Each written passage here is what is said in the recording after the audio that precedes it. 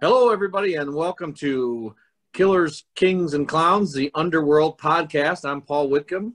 I'm with John William Touhy and Camillus Robinson. This is part two of an interview with a very knowledgeable man and a great, great oral storyteller. He, he just really draws you into his knowledge of this world. And we're talking about the impact of his father's chosen profession as a juice loan maker and killer for the outfit and how it impacted him as a young man, as a member of his family, Frank Calabrese Jr. Thank you for being here, Frank. Thank you.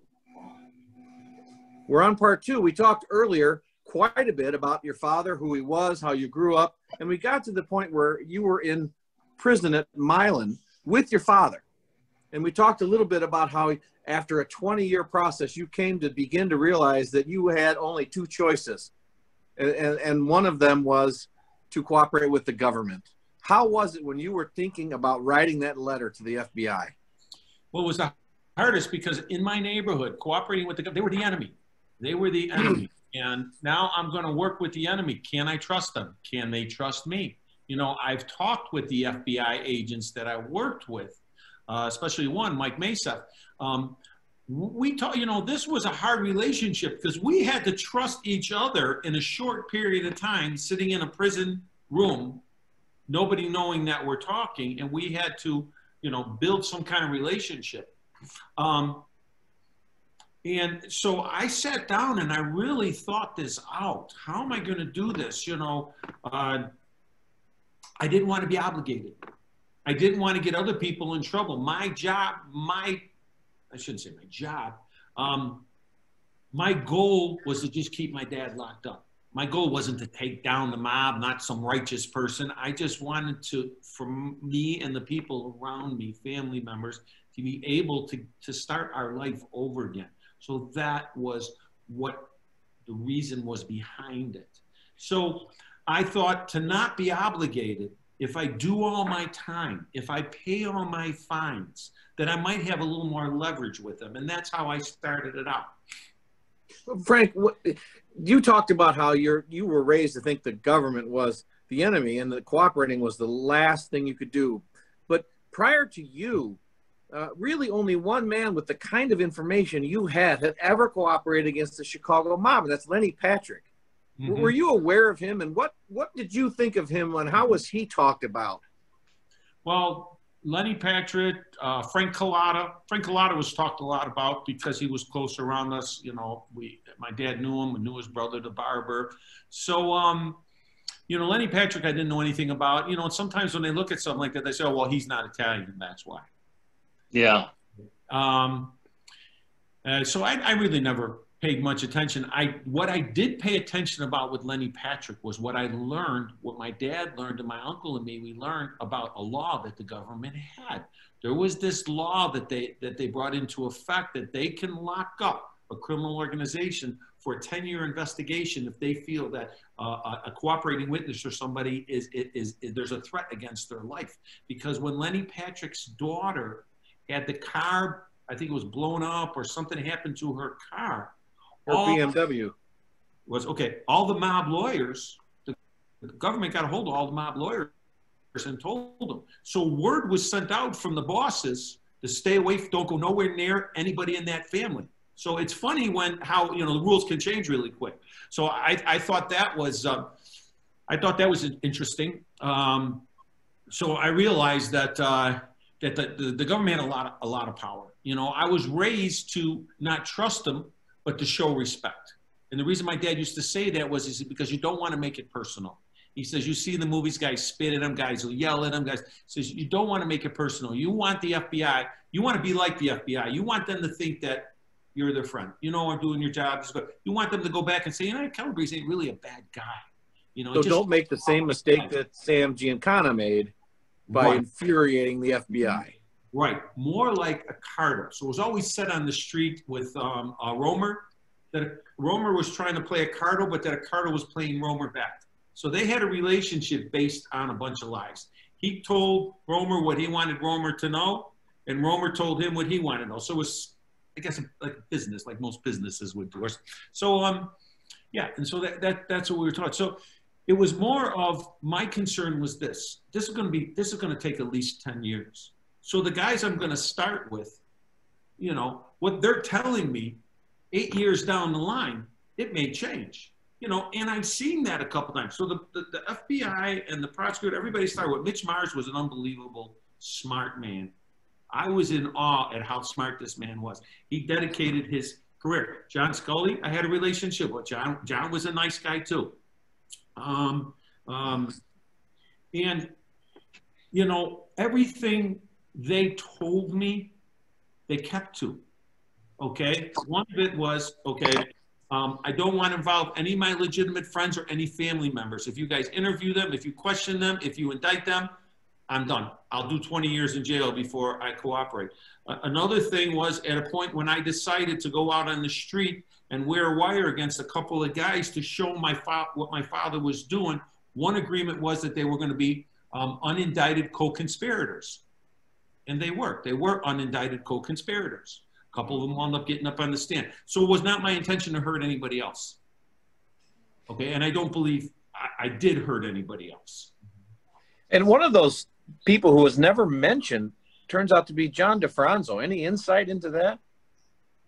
Yeah, I, I, I, I like I spoke, I, I, I said earlier, um, I, it's in inner circles on the street. There's a lot of belief that John DiFronzo was cooperating with the government, that he was the one high-ranking undercover um, informant that they had. Top echelon. Yeah. Top echelon. Yeah. Yeah, top echelon. Yeah. I, well, that's as top as you get. So when when the FBI first came out to um, uh, Milan, Michigan. You got to understand that the hard part about this is that prison, the, the walls speak. It's small. I had to get to a building where they were without anybody seeing me going down this hallway in this building to this door to go upstairs. I actually spoke to them when they came about dressing a certain way so you don't look like FBI agents coming in. You know, dress more preppy like, you know, you're young guys. But, um, and um, when I found out later that uh, Tom Bourgeois was the one I wrote the letter to, if you read the letter. Now, the reason I wrote him the letter, I didn't know anybody, but his name was on my pre PSI stuff as the FBI agent and part of the case. So that's why I wrote him. And when I talk about writing the letter, I did everything my dad taught me. You know, I wore gloves, no fingerprints, type it, no handwriting. Don't put anything personal in there. If it gets intercepted, I can say, Dad, somebody's trying to set me up. It's just general stuff. It took them months to come out. I didn't even know if they were going to come out. And their concern was, what do I want? At first, they thought I was doing bad time. And then mm-hmm. they realized this guy's not doing bad time. In fact, the second time they came back, I'm in excellent shape. I look great. That's what they're looking at. Is this kid worn down? Is he having a hard time? So they brought Mitch Mars out. They actually brought Mitch out. He sat with me. And when he left that day, he says, don't bring this kid in front of a grand jury. Just work with him. He's fine. So I never went in front of a grand jury everything. And I worked, I worked with them the way, and uh, they, they gave me a lot of leeway to lead what I was doing. And, and, and they trusted me at some point because it was working. So what's going on with your family? I mean, did, they didn't know any of this until the indictments came out, right? Yeah, I, I couldn't keep. I, I could. I had to keep it in the dark. I couldn't trust anybody. Um, uh, you know, for the simple reason that I couldn't take that chance. You know, I even told the FBI. I said, "Look, don't keep bringing people. You know, we've had people. We had a person in the FBI that would feed us information. He gave us some good information a couple of times. You know, we don't know if it was it was plotted like that or if he did it on his own. But still, I couldn't. I can't take a chance. I'm in prison. If somebody sees me go to a certain room and I come out, I'm not going to know until I'm dead on the prison yard. When I decided to wear a wire on the prison yard, the warden didn't want to okay. This kind of stuff don't go on in prison. This guy's going to get killed. Right. When I was able to wear it, I never realized this. They told me later on when we were talking. When I left that room with the FBI agents, I had a wire. They couldn't monitor me. I was on my own. I was gone. They said, we'd sit in there sometimes for five hours waiting for you. We were waiting, either you were coming back or the prison alarm went off that you're dead in prison, you know. And, um, you know, my dad is very smart you know, a, a lot of old timer ways he has, you know, checking you for wires, everything. So I was able to um, tell them, give them ideas of the kind of wires to make for me. And they went to Quantico and they made them, you know. Um, so we built a relationship. We weren't friends, it was a business relationship. You know, we're not sitting there talking about families and buddies. It's not social hour. I mean, it was a job. In fact, one time they brought one agent and the other agents talk about it forever. I just got back from meeting with my dad. You know, you got to understand, I'm talking to my dad here. I'm putting him away forever. And another thing is we're talking about a relationship. That's hard on your mind. I go back to myself sometimes and tears be coming down my eyes. I wouldn't sleep a wink all night because I'm like, this is how sick it got. And the guy's offering me cookies and he thinks it's all a joke. And the other agent, because I just looked at him like, you know, and I, I didn't say anything. I'm like, are you fucking crazy? You want to give me a cookie? What am I, your doggy? You know, um, but the other guys, I guess they, they laughed about it. It was a huge impact on them for a long time. Um, and uh, we just, you know, we built a relationship, and it was it, it, till this day, it was a business relationship. That's it. You know, there's no friendship. obviously, I, obviously I think, you trusted them. Yeah, I, I think we should also circle back to you know what people would say well why wouldn't you trust the fbi i think when you look at the history in in in the 80s cleveland had jerry rabinowitz who was a secretary for the mob and she gave up mob informants. She was in, she was working for the FBI. She was a secretary, and she was able to get the names of people who were informing for the FBI, and she got uh, the names of people who were working with with uh, Chicago on the uh, Operation Pendorf with Joey Lombardo and uh, and um, Allen Dorfman. She was working in Cleveland during this trial. Frank, as as you know, when when uh, uh, later your uncle was in hiding, they had a, a okay, U.S. Marshal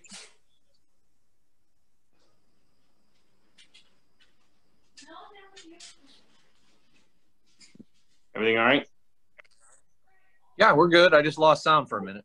Okay, sorry. I, I thought I didn't have sound. So, you know, the, the, the, the mob had a, a U.S. Marshal at this time. So it's not enough to just assume, well, they're FBI agents, so they can be trusted. Not only did you grow up that the government is the enemy, but there's multiple, eh, there's so many instances of, of the mafia actually having not uh, not just law enforcement but federal law enforcement under their belts. So this was really a huge risk that you were taking, and they had a lot to do to prove to you that that you would be safe and that you could trust them. So it, this was really it, it was really a heavy burden on you to turn on your family and, like you said, to go to the enemy, but just to know that you were safe with with guys you've seen could be turned.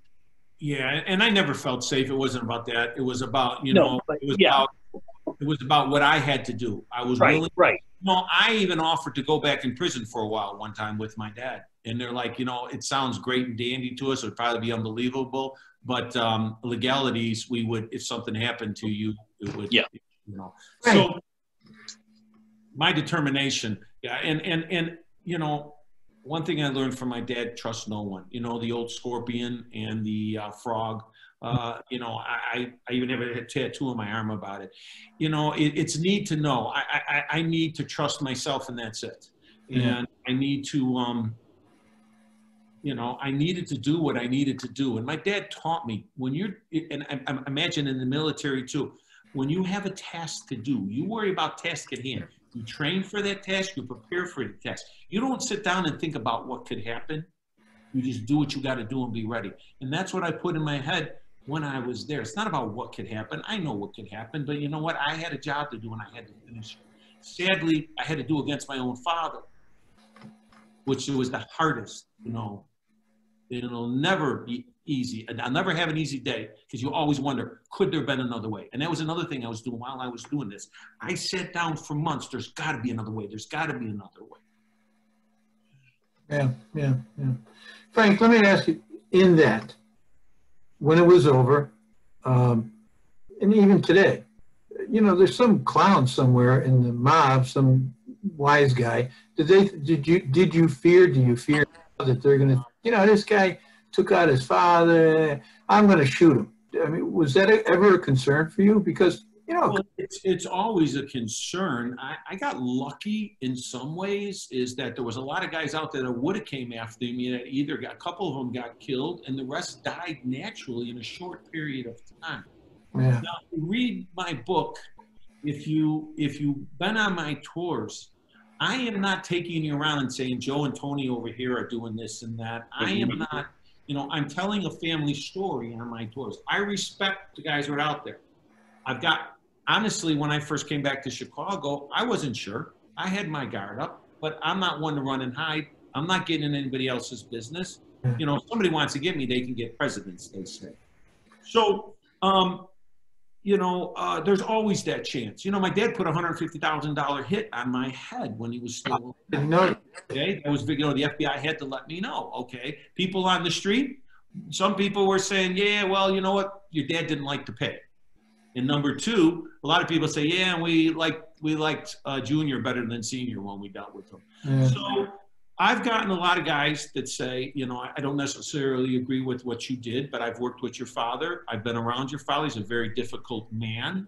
Um, I people tell me that things are a lot better now because these guys are gone. They were, you know, you're talking about guys that come up to you and tell you, you got to start paying me, you know, thousand, two thousand dollars a month, and if you don't, they're going to ruin your life, right?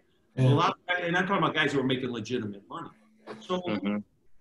I hear sometimes that I did a lot of people a favor. Uh, the mafia is a thing of the past with the Italian American mafia. A lot Yeah. of people have moved on. There's a lot of guys that were in the life that were younger that have moved on to legitimate things. They're making money. I'm not getting in anybody's pockets. I'm not getting in, in anybody in trouble. I don't care what anybody's doing. You know, sometimes people start to tell me about stuff. I say, I don't want to hear it. They say, why? I said, because if I hear it and somebody hears I heard it, they're going to automatically think I'm the one that said it. I don't want to hear it. It doesn't, you know. I had guys come up to me, ask me to do something when I got back, and was, I says, "Are you, you know, I cooperated against my dad." Yeah, but that was between you and your dad. You've always been good with me. I said, "No, I, I'm sorry. You know, I don't want." to so there's always that chance that somebody could come up. You know, um, now that I do tours more than ever, I've had a few people get in my car.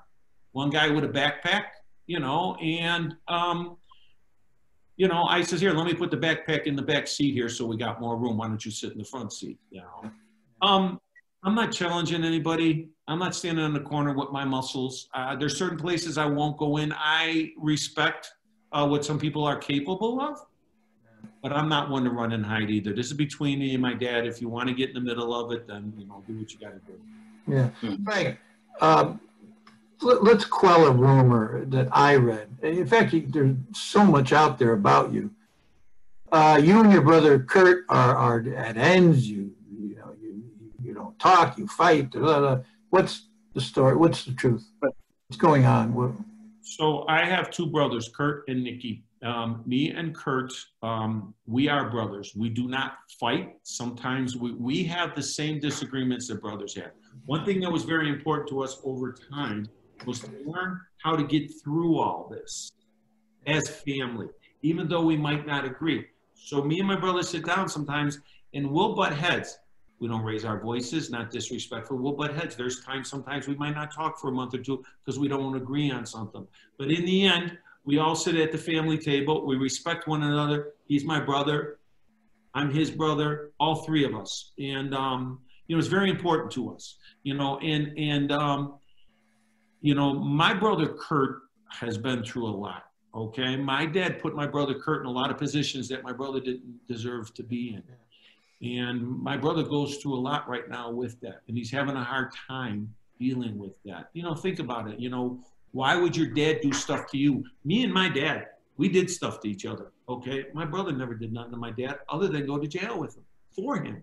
is he getting help? Is he professional? You know, and that's for him to talk Yeah. about. And I know that he's I- involved in a lot of projects and stuff.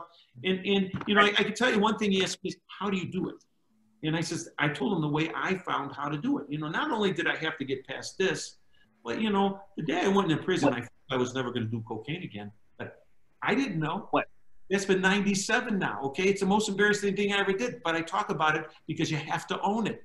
Okay, and I got past it.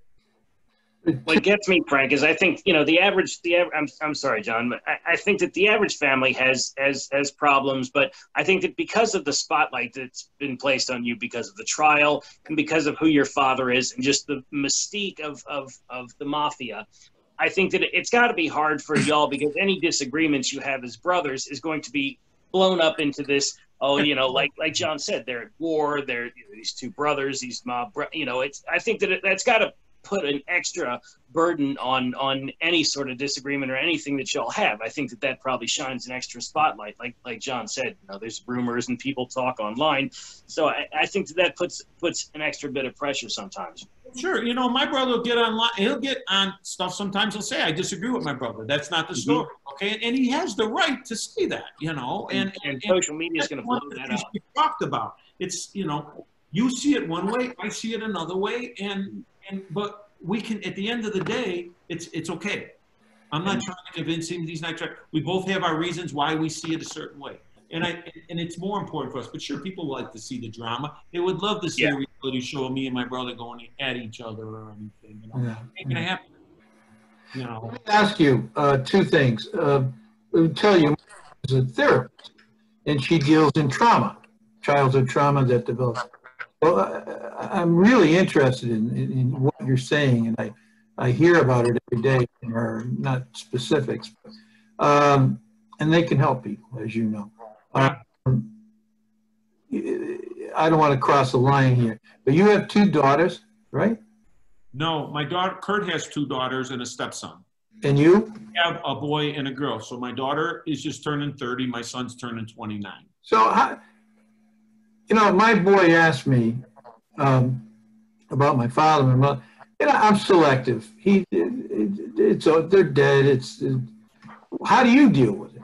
How do you uh, do? You say, yeah, this guy, but- or do you, yeah, but there was the other half. You know, It's it's very hard. One thing that me and my brother agree on 100% is our kids are the most important thing in our life. Yeah. Okay, um, I can never take back any pain or anything my kids went through while I was in prison. It rips me apart. My kids laugh and they tell me, "Dad, you know, you should go to counseling for you. We're okay. You have a hard time letting go. You know, you got to let go." So my daughter is my voice of reason, and so is my son, and I look up to both of them. And um, and both of them have nothing of this life in them. They weren't around it. Um, my son chose for a while not to know a lot of stuff because he didn't want to know about it. Uh, my daughter had a hard time, like when she talked about a Nightline, was watching, you know, Godfather stuff like that. But I've, I mean, I got a second chance of life with my kids. yeah, They love me. They've seen me for the last 20 years, who I've become, how hard I work. They're so proud of me. Uh, their mother, who my ex-wife, who we're, we're, we're still friends, we're still close. Um, you know, one day Anthony was like, you know, dad this or dad that. And, and, and Kelly's like, you know, to really understand, I mean, my, my wife, ex-wife was like, to really understand your dad, you know him now. You need to know how he was before and what he went through to get to where he is now. So when I was writing the book, my son, I had him help me, you know, on the computer because he's very smart and everything. And and then um, when I went to LA and uh, uh, working on some stuff, I would bring him as my assistant, like you know, just so he get to know me. So my relationship with my kids are are is very good. Um, they're close with their cousins. My brother Kurt's kids, they're all close because they can relate, you know, because they've been through the same thing. Uh, Kurt, his kids are the most important thing to him you know, and um, you know it's hard because you don't want to affect um, what you're going through. You don't want it to affect them because it, it does, right? I mean, if they see you down, if they see you depressed, if they see you, so it's hard. But um, we have the chance to work at that every day. Uh, so I, I'm I'm I'm one of the luckiest guys in the world, you know, for where I'm at now. yeah, So, yeah. Kids make a difference, and they're resilient. Yeah, and and I, I told my brother, you know, we grew up around a lot of legitimate friends that have done very well for themselves. And I says, Kurt, you know, don't let that bother you. Don't compare to where you're at right now because we went through a lot. I says, just own what you do. If you're going to clean toilets, be the best toilet cleaner. Your friends will respect you for that. You Yeah. know, it's the same thing here. I mean, right now, I'm working at the Marriott out here, okay? This is what I do when I'm not doing my I started at the bottom and I worked my way up. I learned computers because I had to know. I took a computer class in prison so I could learn computers. Good for you. You know, Mhm. so it. So I, yeah, I'm in. I, I am very lucky. And also, it's, uh, you know, and I have to go through this every day. You know, you, no matter how many times you go over it, you're not going to change it. Right. and you think about, it, and you get, you know, it's a matter of living in trauma of right now, right? And you have to stop yourself from going back there. Yeah. There ain't nothing back there except pain and misery. We tend to uh, forget. You know, it's easy to remember some of the good times, but inevitably the bad times take over, and it's a waste of life, man. You know, it's a, Yeah, you can do it. Have, Everybody has a different way of letting it go. So what might work for me might not work for my brother or Right. somebody else. So Yeah. I talk about what works for me, you know. Yeah. Yeah. I never did talk, and um, I had two heart attacks. I, I couldn't eat spicy food. Yeah, well, I, you know, I kept it in, and then I, my wife said, "Look, you know, this isn't working." Right. You know what? That changed everything. Really, it changed everything. So, No, I well, you know, I got out of jail and I had this plan. You know, I'm going to do this, I'm going to do that. I got all this stuff, and all of a sudden, my I start getting drop foot. I get diagnosed with multiple sclerosis and rheumatoid arthritis. So, um, I, I was like, that's it. I, I I can't feel sorry for myself. I'm going to be the poster child for MS. I'm going to be the guy that's going to walk till I'm 80 and say, look, see, I beat it. You know, I did what I had to do. I'm doing it. Um, and you know because that's the hand I was dealt, and I'm going to make the best of it. so How how? is your health right now? How is your health right now, Frank? My How, health. how you, you feeling? You doing pretty well? I went to the neurologist two years ago. So when I got the MS, I was going to Loyola in Chicago, in Elmhurst, and uh, the neurologist was like, "You have to slow deteriorating." He says, and whatever you're doing, because I came out of prison in such good shape and so healthy, eating healthy, he says, just keep doing it for right now. You'll come back, we'll see what'll happen. And I'm not going to put you on any meds or studies because it's just going to eat your body away. So I moved out to Arizona and I just learned to deal with it, I, you know, with my legs, losing the muscle, and I just would work out all the time. So 17 years later, I come back to Chicago and I go see one of the best neurologists in the state, and he's on the state board, everything up in Northbrook, and he says, he goes, he goes, unbelievable. He says, I don't know what you're doing. He says, but it's been dormant. He goes, and um, just keep doing what you're doing.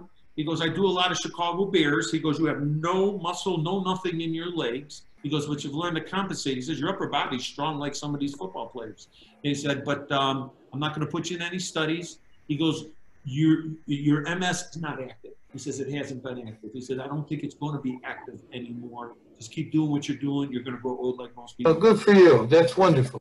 So I fall once in a while because I'll trip, you know, but I've learned to fall where I don't hurt myself. Yeah. But the most thing is it- the embarrassing that I fall. I want to get up right away and say, okay, it's okay, it's okay. Some days when my arthritis is bothering me too, I use a cane. That has been less and less as I've went on. So I'm, I'm very proud of it. Yeah, absolutely. Yeah. You know, and, and I just want to be, you know, inspiration to other people that, you know, we're all going to get dealt shit in life. hmm The way to get around it. It's going to make you who you are. Yeah, yeah, yeah, yeah. I'm also, uh, I got one leg, basically. I walk on one leg. The other, I mean, I have two legs, but Right. But you've learned to compensate with the one, right? So yeah, yeah. I gave up my hopes of tap dance and, you know, yeah, I, I, I had to give up a lot too, but then I found other things. You know, they wanted to put a brace on my leg. And I said, if you put a brace on my leg for my footfall, and those muscles are going to be gone. So I said, no, mm-hmm. I'll figure it out. And that's what I did. And, and I think by doing that, you know, because sometimes the doctors ain't always right. You know, I, Yeah. I just didn't want to give in to that. I didn't want to be on any drugs. I didn't want to give in to any anything. So I got a cane and I keep working out. good. So you can drive around and the I tour. everything, yeah. Yeah. When I came home from prison, I started driving a semi in the city because I needed to get work. I needed to do something that I could do anywhere in the country. Let me ask you a nosy question. I mean, you, but even you said yourself, your, your dad had uh, gobs of money hanging around over here and everything. Uh, and then we got the Hanley family. That guy, Mr. Hanley, he probably did okay. What what happened? I mean, did every where did the money go? Um, I, believe his ex-wife got a lot of it. I'm sure there's some other people that were holding it for him. Uh, people all the time telling me. I had one distant family member say, "Hey, you know, at the cemetery, Queen in Heaven, you know how they didn't bury this, that, there. You know, I bet you there's something there. I got this thing. Do you want to go?" And I just looked and I said, "No." I says, "I don't want to go. I believe the money's cursed. there's money somewhere. I don't care. You know, I, it's Well, I, I done that. I ain't gonna do it again. Okay. It's Yeah. just- just- I don't know. I hope whoever has the majority of it, or whoever that that they really need it, and they do the right thing with it. yeah, yeah. I'd like to see my mother get something because my dad uh, didn't leave her with anything. Okay. Uh, He manipulated her, controlled it. She's got a heart of gold, and um, she really caught the raw end of the deal. But you'll never hear my mother badmouth them. She just Yeah. Isn't there a story that your dad had all kinds of money stashed in the wall of a house up in Wisconsin or something like that? Or stashed in the walls? It was, uh, no, it was buried. It was buried. Buried.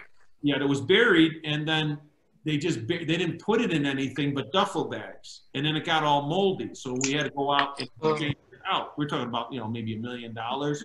Wow. Story.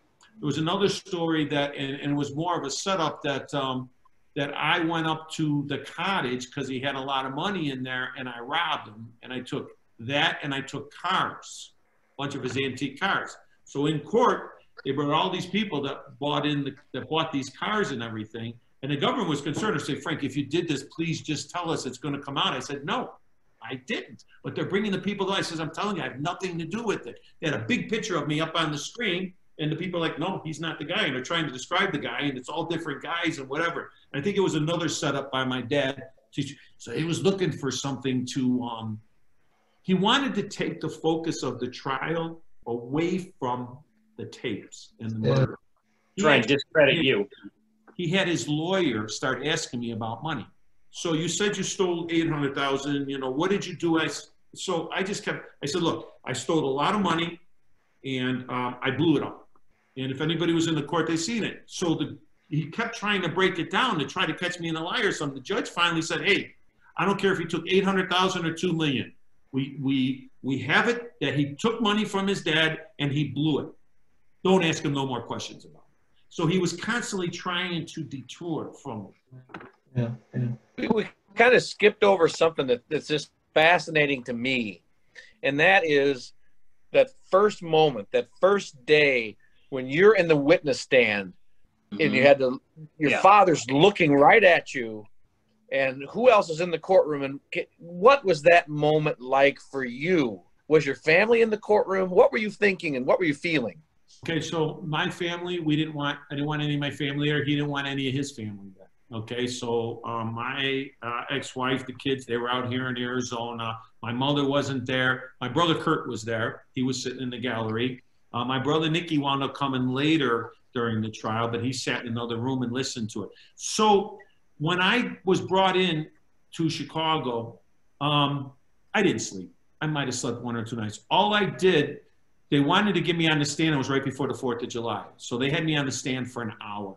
And you know, I asked the night before to go sit in the courtroom, if I could sit in the courtroom for a while. So they had to get the marshals this big official thing, and I sat in the courtroom in that chair for about a half hour. and looked around the courtroom and looked where my father was going to be sitting and everything like that. I wanted to get a feel for it. The next day when I went in there, they told me go up in front of the judge and raise your right hand. So I walk up to the judge and I step up on the platform and I'm right in his face. I'm not in the on the witness chair. And later on, they were all laughing at me, but I didn't know. I raised my right hand. I'm right in his face, you know, and I'm repeating after him. And I sit down and I'm like, why did you go up like that? I said, you told me to go in front of him. I don't know where I'm going. I wouldn't make eye contact with my, my father because the emotions, I mean, well, I should say wouldn't, I didn't make eye contact with him, but I glanced over. And there's my dad who's aged. I haven't seen him in six years. And I'm ready to put this man away for his life. I was just so overcome with emotion because I'm his protector, but I'm also his um, his prosecutor. Yeah. Yeah. I sat down and I was probably the worst witness there was for um first of all, the judge told me they had the microphone. I kept grabbing it, like that, and the whole courtroom's going like that. That's how nervous I was. Um, I got out of there. The next three days, I sat with Mitch Mars and Mike Maseth and, and, and, and John Scully in the war room in the FBI's floor, and all they did was go over everything and prepare myself for the rest rest of the case. And when I went back in there three days later, I was ready. The emotion was past me, and this was all business. And um, yeah, I it's I'll never forget all that. It was the hardest thing I ever did in my life. You know, the the the, the glance that me and my father had at one point. You know, like you know, father and son that hadn't seen each other for years, and here's the whole world watching this. How long were you on the stand, Frank? Mhm. Oh gosh, I think it was almost a week. Must have been the longest week of your life. Yeah. It was it was it was long. It was long. Um, now the F, the prosecutors have people in the gallery that that are there to see how everything's going. So they'll critique it at the end of it. So the first day was on there, me and John. So John uh, Scully was the one that was handling me. So we were getting up there, we're showing the uh, transcripts and we're playing videos and all that. And John would ask me questions. So um, at the end of that day, uh, the people are like, that's not working. We're confused. It's not working. So I came up with an idea and I told John, why don't we do it like this? Why don't you play the tape? Uh, you know, be like, um, you know, maybe four paragraphs. I'll say what I feel about what, what he said during that four paragraphs, and then you can ask me questions after. He goes, okay, let's try that. So I would sit there while I'm playing the tape and I'd use my fingers. Okay, I'm going to talk about that on that part. I'm going to talk about that. And then as I'm answering it after, I'm touching my fingers to remember. And the, they came back and they said, that's perfect. It's working perfect. So that's what we did the rest of the time. It was it was a lot of translation, wasn't it, Frank? Because the code that your father spoke, it, it was so intricate. I've, I've heard some, even when he was talking to, to, to Tuan Doyle and all, but hearing you and your father speak, it, it's almost, if you didn't know what you were talking about, you, you know, you're talking about going to her house, and it's just incredible how intricate the two of you were speaking. Well, the video that you'll see on YouTube, it's called The Curly Girl, and they show the video, and they played that at the trial. It's with me and Ralph Peluso, and it says we're talking about recipes. So me and John Scully are sitting there going over everything, and he's like, "Okay, at this part, you guys are talking about recipes, right?" I don't know that that's code for this and this and this. He goes, "Oh, okay." And then he goes, "Okay, and this part is code." I go, "No, that's really a recipe." Because you guys were good. You're still getting confused. And, and, and it was, it was good. I mean, somebody says, Jesus, it sounds like you're having a conversation about six different people, you and your dad. And all we're talking about is me with four different code names. But yeah, it was, it was, so what I would do, now this is the biggest thing for uh, any, any legal people is, um, you know, you can't testify to a conversation if you weren't present, right? As soon as you get up there to start testifying against that conversation or for that conversation, they're gonna, uh, uh, they're gonna uh, uh, reject it. Yes. So some sometimes I think I got hit in the head too many times. Um, so Mitch Mars tells me you're going to get up there and you're going to talk about the conversation between your dad Doyle and Mike Ricky about the purse, about the glove, and all that. He says, and I want you to say in your own words what you think the conversation is. They're going to they're going to probably um, knock you off right away, but it's worth trying. What was the word that I was looking for? It's hearsay. it? Hearsay. Hearsay. Yeah. So I get up there, start talking. The lawyers jump up. I got to go in the other room. They have a sidebar. Mitch walks in, not like, all right. He walks in, he goes, all right, come on back in. You're going to testify to that. So Zagel, everything I testified to, he's behind me. He's got the transcripts. He's just looking for one thing, a very smart, just one thing that's out of line, knowing that I might not be telling the truth. And he knew I was telling the truth on everything. Do you know he let it go? He said, no, bring it back in. They tried to appeal it, but they lost. So I would say is during my conversations with my dad or any of these guys, purse meant this. This is what my understanding. And it was unbelievable because the lawyers couldn't believe it. I mean, that's how smart Mitch was, you know, and uh, that was huge. That was huge. He was a very, very good lawyer. Yeah. Mhm. And he died way too young. Yeah, he's very Well, young. At the end, you have your cross and your recross. So they had my uncle Nick up there, and they and they did the recross. Is that am I saying the right words? Anybody? know? Yes. Yeah okay. And you can only you can only recross on what they talked about on the cross. And Mitch got up there and he says, "When's the last time you seen your nephew or talked to your nephew?" So he gives him a date from you know before we went to jail. And he says, "Have you ever seen any of the transcripts or heard any of the, you know, any of the tapes?" He said, "No." He said, "That's it." He sat down. Um, they, they couldn't recross on anything because all they'd have to ask about is the tapes. Now we knew that the lawyers were staying away from the tapes because they were all loaded. So they didn't even want the tapes to be played because they they heard them. They knew what was going on. So it was really a, a chess game. And um, in, in the legal world, it was a great trial to watch because it was the first time they used the RICO Act the way it was supposed to be used, and that's to go after an organization, and you know instead of individuals. Even the guy that wrote the act, I think he was a professor at uh, Robert Robert Blakey. Yeah. Yeah, he was a professor at Notre Dame or something, was he? Or yeah, Notre Dame. Yeah. Yeah, and um, and and he was all over it too because he kept telling the government, "You're not using this right. You're not using this right." And it was the first time in Chicago they used right because remember they used it in New York. New York, yeah. Yeah, and it, and and, and it worked. So it was. Um, that's an interesting point. Yeah, that's a. Yeah, uh, I I did. I I learned a lot there, you know. But it was it was it was probably the hardest time in my life. You know, um, when there was a, a break or, or, a recess or what, and we're all sitting in there and they're doing something, you know, I just sat with my head down. You know, first of all, I, these guys sitting in this room, you know, I respected what they were capable of. They're not my problem, but um, you know, it's still, you know, this. And then there's my dad sitting over there. Everybody's talking to everybody, joking around. I'm just sitting there, and it's just, you know, I wanted to be anywhere but there. Yeah. yeah. Most, well, I'm sorry. It, yeah, it's, uh, people that cooperated never. Most people that cooperate never think it's going to make it to court. I knew this was going to court. Yeah. yeah. Frank, what when the jury went out to deliberate, did it ever cross your mind that they might acquit your father? Oh, I, I yeah, I didn't. I, I, I made a comment, and I was asked to stop making that comment. I first of all, I told the FBI, if you guys get a deal with my dad and he's out, I can guarantee you that I will be at that prison door with a shotgun waiting for him the second he comes out because that's my best odds of getting him. And they go, you can't talk like that. I said, well, that's that's the way it is. They said the only way we'd give your dad a deal is if he knew where Hoffa was buried and we found the body, and if they if he could prove he killed Kennedy. That's what they told me. Um, also, I, I learned later on that they profiled. That's the high standard. Yeah, that's that's setting the bar. Yeah. So, um, but um, I yeah actually um, every year I would go to Las Vegas with a bunch of friends opening football weekend for a couple of days. You know, we're getting older. We sit around, just watch some games, have some coffee, a beer, or something, and talk. And they happened to come back the days I was out there. And I don't remember, I was sitting by Caesars by the pool, and it was all over the news everywhere and I, I, just had to go sit in a room by myself for a couple hours. And it just you know it wasn't like yay you know just it was just part of that whole um you know damn this is just i wish some days i wish my dad could be sitting here right now and you know i could be taking care of him. He's older now and you know I, I, I lost that.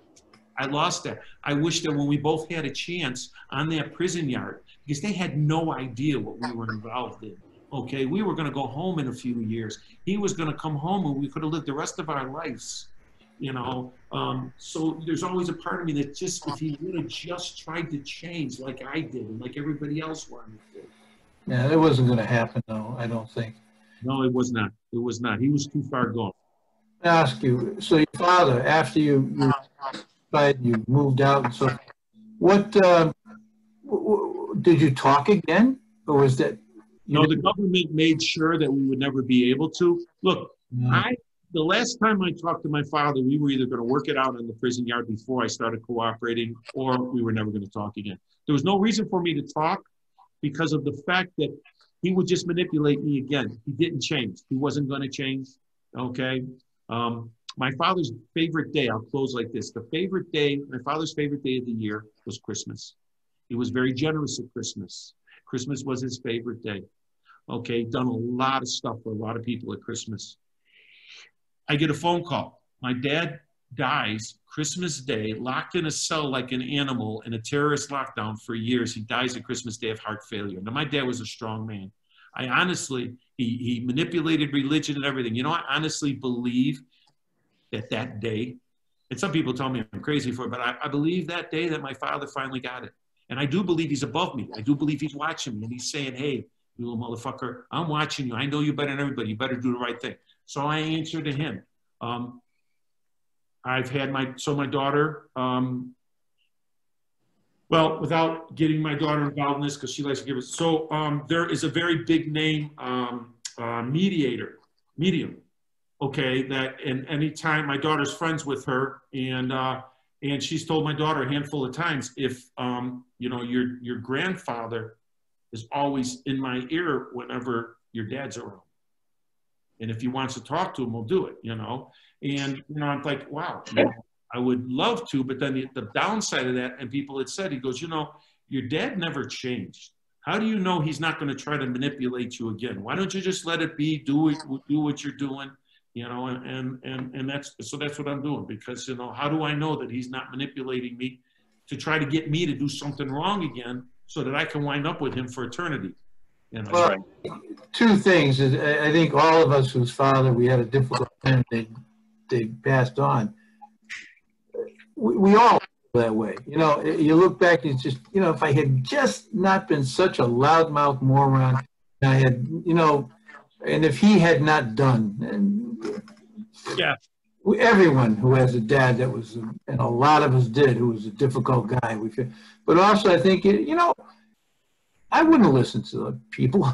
He, he is, you know, and he is probably, probably. I, I'm a Roman Catholic. He's in heaven, and you know, that's good therapy for you. You know, I lost a brother. I wasn't able to deal with, and he just, I hell, I, I don't care what people say. Talk to him a lot, and I uh, I have fake conversations with him, and it makes feel a hell of better, Frank. I, oh, I, I talk to him all the time. Well, let me tell you something. I, um, you know, I I have that criminal mentality, okay? And I talk about this at the end of the chore community. Mm-hmm. You know, I have to process every day. Okay, this is in your blood. You just don't wake up at one morning and say, "Oh, that's it. It's out of your blood." You know, I see things that other people don't see. I was good at what I did. I never got caught for anything, and it's not bragging in a good way. It's actually a curse to me. So I have to step back, and I have to process when I start thinking like that. I see something, and I'm like, "Oh my God, that'd be like taking candy from a kid." You know, so I have to step back and process. One of the things I use is having to wind up with my father in hell for eternity. You know, um, that's one of the things. And then I also look at I'd be worse than my dad if I went back to I'm a, I'm, I'm a hypocrite. I'm, I'm, you know, I could be the lowest scum of the earth if I do it. So, you know, I find my ways of processing so I don't do it. And I have, I've been doing that for, for 20 years. You know, I'll tell you one funny story in, in, in closing is I'm working at the hotel before my book came out and I'm with this younger guy. And I had, I told you I go to these Vegas trips. Well, my friends are very well off. So they're gambling maybe 20, 30,000. I gamble 20 bucks. But that's, you know, I can gamble what I can afford. And the guy says, Oh, Frank, you know my friend Larry that drives the white Hummer? I says, Yeah, he lives in Paradise Valley. I says, Yeah. He says he goes to Vegas all the time too. In fact, he had, it, it, behind the picture in his front room, he has a safe. And sometimes we go over there drinking, he opens it up. He always keeps three to 500,000 in there. He goes, Why don't you come? We'll go there Friday. I'll show it to you. You know, you know what I'm hearing? oh my God, one more time, right? What do we say? One more time and I'm good. I had to step back and process. Then I told the kid, I says, hey, don't be an idiot. You almost got your friend hurt or in trouble. And then I told him that he was just sitting there like this. I says, don't do that. You know, I wanted to go tell a friend, and don't be showing everybody where you keep your money. People breaking houses for that. So, yeah, I, and I think it's, I'm, I'm being tested. I salute. Yeah, thank you. That's a great story to, to to wrap that up with starting out what everything you went through, everything you did, everything your father tried to make you into, and now you are able to see that criminal thinking process happen and step outside of it and, and truly be a different person. Yeah. So yeah. few people can do that, Frank. Versus 500,000. yeah, it took some processing. Dealing with a banana, a former banana guy who went into the witness protection, blah, blah, blah. And we're eating at a deli in my neighborhood, and there's only us in the in the hall, you know. And the bill came, and some guy left uh, a fifty dollar tip. I don't know why. He, I can't believe this. He took the money. He, in other words, he, he ended up giving the twenty. He took the fifty, but he did it in such a way in small bills. And just the hell are you? A, I live here. B, really? Did you really just do that? But that's his. he can't get out of it, man. Yeah, you, it's it's it's an addiction. It's a high. Yeah, yeah. He's been kicked out of the program since, by the way. So, interesting guy. Yeah, there's a lot, lot. There's a lot of interesting people that Oh, I have a support group with a lot of guys from New York, Vegas, all that. That were in the life. A lot of names you'll see out there and stuff. And sometimes we have calls because you know when I call it a support group because we understand. So when we have stuff that happens to us, like one of the guys was telling me that um, that uh, uh, you know something had happened to him and it was like somebody handed him money and he's looking around for cameras thinking this guy, you know. Yeah. So we actually talk each other out of it. But when we have talked with a lot of people about doing a roundtable where we just sit down and we talk about stories that you never hear, like we're talking about today, not who was the boss, who was the underboss, more about, you know, and we've done this on the phone, uh, um, and we haven't tried Zoom yet, but you would die laughing. And, you know, Yeah. talked with different uh, uh, stations and stuff. So I'm working on a movie project right now. I have a deal. It was supposed to start filming in the fall, but um, because of this, it's got pushed back. But um, yeah, we. Uh, it's funny because um, we have some great stories. It's it's unbelievable, and we've talked about taping it. geez, you do that. If you need help, Yeah, uh, uh, uh, an ex mob support group. Oh my God, Frank. That's- oh my God. Yeah, it, it- that's the basis of a good comedy, Oh my God. doesn't it? Yeah. You know, one of my favorite Great idea. one of my favorite movies is My Blue Heaven with Steve Yeah, Martin. I'm, Yeah, yeah, yeah. I'm, I, I mean, I'm, I'm, I'm salivating at thinking about the potential of that. Yeah. Yeah, My Blue Heaven. That's such a. That's that's literally the sequel to Goodfellas. I think not many people know that. So Nora Ephron wrote it, who was married Yeah. to Nick Pileggi, which Nick gave a, a blurb on my book. Do you know Nora was the one that I was working with at the beginning? She loved this story, but unfortunately she passed on. It would have probably been done by now, and you know, um, she, uh, yeah, I mean, what a what a woman, what a woman. We've had uh, had some. There's been some bad luck with people passing and telling your story. Yeah, You know, the opening chapter of that book is the gangsters meet the- at the round table and they have an hour-long fight over who's going to sit where because they don't want the other guy to be the head, at the head of the table. Just the, you know, the whole back and forth. Write that and just keep going. Why don't you write it? yeah, we're we're working on a lot of stuff. Yeah. Frank, it's it's a brilliant idea. Have it. I mean, it, uh, it's incredible. If y'all just recorded your calls, you'd have you'd have the material. My God.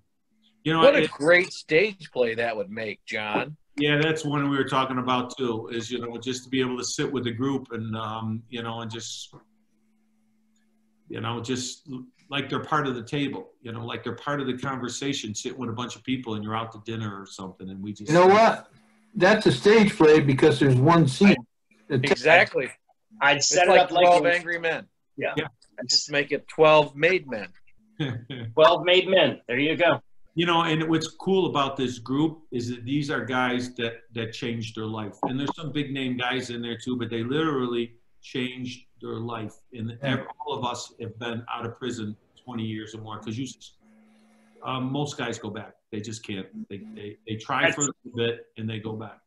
You know? Hearing hearing Well, your story, 25 Frank, years you, in- have not gone back, and and you've really completely changed everything coming from your from from where you came from, what you've been through, the lifestyle you lived, who your father was, and and you've really uh, you've you've completely changed everything about yourself. Like you said, that is always still in the back of your head, but you don't act on it, and it's just really quite a story that, that you that you've lived. Yeah, I, I, I thank you. You know, you know, I, I, um, a lot of people just don't understand how I can still function normally, but I found my way to do it, and that's what I Yeah. do. You know, It's a battle every day, I should think. it's the little victories that mean a lot to me. Yeah. And, Yeah. And my sons, my, my kids tell me how much they love me, how proud. A lot of my friends that have stood by my side that are proud. You know, when they tell me Frank works harder than anybody, I had I had kids telling me I'm 60 years old now, right? I had some kids telling me after I worked a 16 hour shift, how do you do it? You know, Yeah. I says, hey, you know, you, you do what you got to do. And they're like, no, it's old man stamina. That's what you got, old man stamina. It's not. No, no. Yes, they call it work ethic. Yes. Yes. The kids are like that though, you know? Are we gonna write all day? Yeah. Oh, oh, hey, careful. Let's uh, let's watch the record before we start talking about the generations. Let's watch what we're recording. Well, generations are not with th- almost 30 years in the criminal system. I can tell you that it's exceedingly rare. As, as a matter of fact, the most rare beast is the truly reformed. Mhm. A lot of people, uh, as as we say, find Jesus in jail, but most leave him there, and they might find him again, and they leave him again. Boy, And you have a real, genuine story of somebody who has really changed. And it's not like you were. What's that? I watched a lot of people that I didn't think would come back while I was while I was in prison. I seen them come back, and it was one of the saddest things I ever seen because I, it's just such a waste of life in prison. You know, especially fre- federal prison. If you're if you're a street guy and you go to prison, it's like being on the street. So you can get very comfortable very fast. But it's just such a waste of life. And you know who suffers? Not us. The people on the outside that love you. They're the ones that suffer you know, and to watch these people stand by these guys' side and watch some of these guys come back for some some of the pettiest shit. It just it it, it, it shocked me. Yeah. Yeah, yeah. Frank, where where are you now? What in your life? What what uh, what what do you want to do? You're a relatively young guy. You still have a lot of what what do you want to do? I mean, you're doing a lot. Obviously, you've got a movie going and a book and um, any larger plans? Those are fairly large, though. Um, I want to be happy, and simple things make me happy. But what I've really enjoyed was when I started these tours, and then it it, it branched out into public speaking, motivational speaking. Yeah, And I've learned that it's the family story that I'm promoting with the mob in the background. And I just, it's been growing up till when this pandemic and everything started. I mean, I was going like crazy and I really enjoy that. good. Um, I was doing some volunteer work for people that are getting out, you know, and it's, it's very ironic because before I go, he's a rat. Then when I'm done, they're like, oh, you know, he's a pretty stand up guy. Wow, that's a hell of a story. And I've changed some people's lives. And, and, and to me, there's nothing more fulfilling than that. I'm not going to sit and preach. I'm just going to tell you my story. Um, and, Mhm. you know, hopefully you, you maybe you'll find something to change your life for the better. Yeah. So that's what I enjoy. I really enjoy that. I'm I, I enjoy, oh, I work at the hotel. I've been here for over 10 years off and on. It's like, Ah. um, and, um, you know, they love having me around because I do anything, everything. Frank, do you have handy your uh, where? How would one book you for a talk? Um, just uh, uh, right now, it's just getting uh, uh, a hold of me through um, through my uh, familysecrettours.com. Or, or could they write to the Facebook page as well, or no? Yeah, yeah, you can write to the Facebook page. Um, uh, I, I prefer people getting a hold of me through um, uh, through my number through the Family Secrets Tours because um, because I answer that. It, Facebook sometimes it goes crazy. I Yeah. mean, I mean, I didn't. I, I think I didn't get back to you right away. Um, Yeah. I, I'm really almost done with Facebook to some point sometimes because it's just it's. Or, yeah. Yeah. Phone number, by the way, do you happen to know it up top? I can look it up if you don't. I gotta look it up because it's, I don't give my personal number, but it goes to my personal phone. So Yeah. if you call the, um. Tours. It's- secret- Let me look up. I'll go to the website. Yeah, hold on a second. Yeah, and let's give folks the opportunity. We'll give it a few times and make a, uh, not for the tours rather, but for the speaking engagements. Well, I, Yeah, I do a lot of uh, senior groups, a lot of libraries, um, uh, corporate events, you know, and I could take my story and I have like, you know, 10 different presentations and I can, I can actually put it more t- geared towards what the event is going on, you know. yeah, yeah. a lot of women. Sometimes I have a lot Right. of guys. And, and do you know the, the biggest readers of my book are women? Yeah. When I you believe it. the cover of the book, you're like, well, you know, women be like, I'm not going to read this. Then they read it, like Yeah. Nora. And they're like, oh my God, this is a family story. They can actually relate to it. Yeah, Yeah. that's what right. your story is. Your story isn't shoot 'em up. It's a story about Yeah. a and the son. Exactly. And that's that's what affects people. You got it? You ready? Yeah, if you're a mob, tomorrow, my book is not the book that you're going to. Yes, that's it. Thank you. No, you're right. Two six one four four three. I'm going to read it out loud. So if you, Yeah, you read it out, yeah, but I just want it up on the screen. So it's uh 847-261-4435. yeah. So at 847-261-4435, you can reach Frank. Uh, Will- Frank, I'm sure, uh, you can get in touch with him and find out more about the, We'll put it in the uh, description below this uh below this video also. it'll, I, I answer the emails, and uh, it's a one-man show, so you're going to get me. that's it, it, it's a it's a hell. Like I said, I've I've taken the tour. I took it twice. I took a, a get uh, two guests different times. Really a, a great show. Frank really really gives you it all. I mean, he's it, it, as we've seen today. He's really a great speaker, and uh, you really I, I, want- really get uh, what you see. uh, we missed a brother.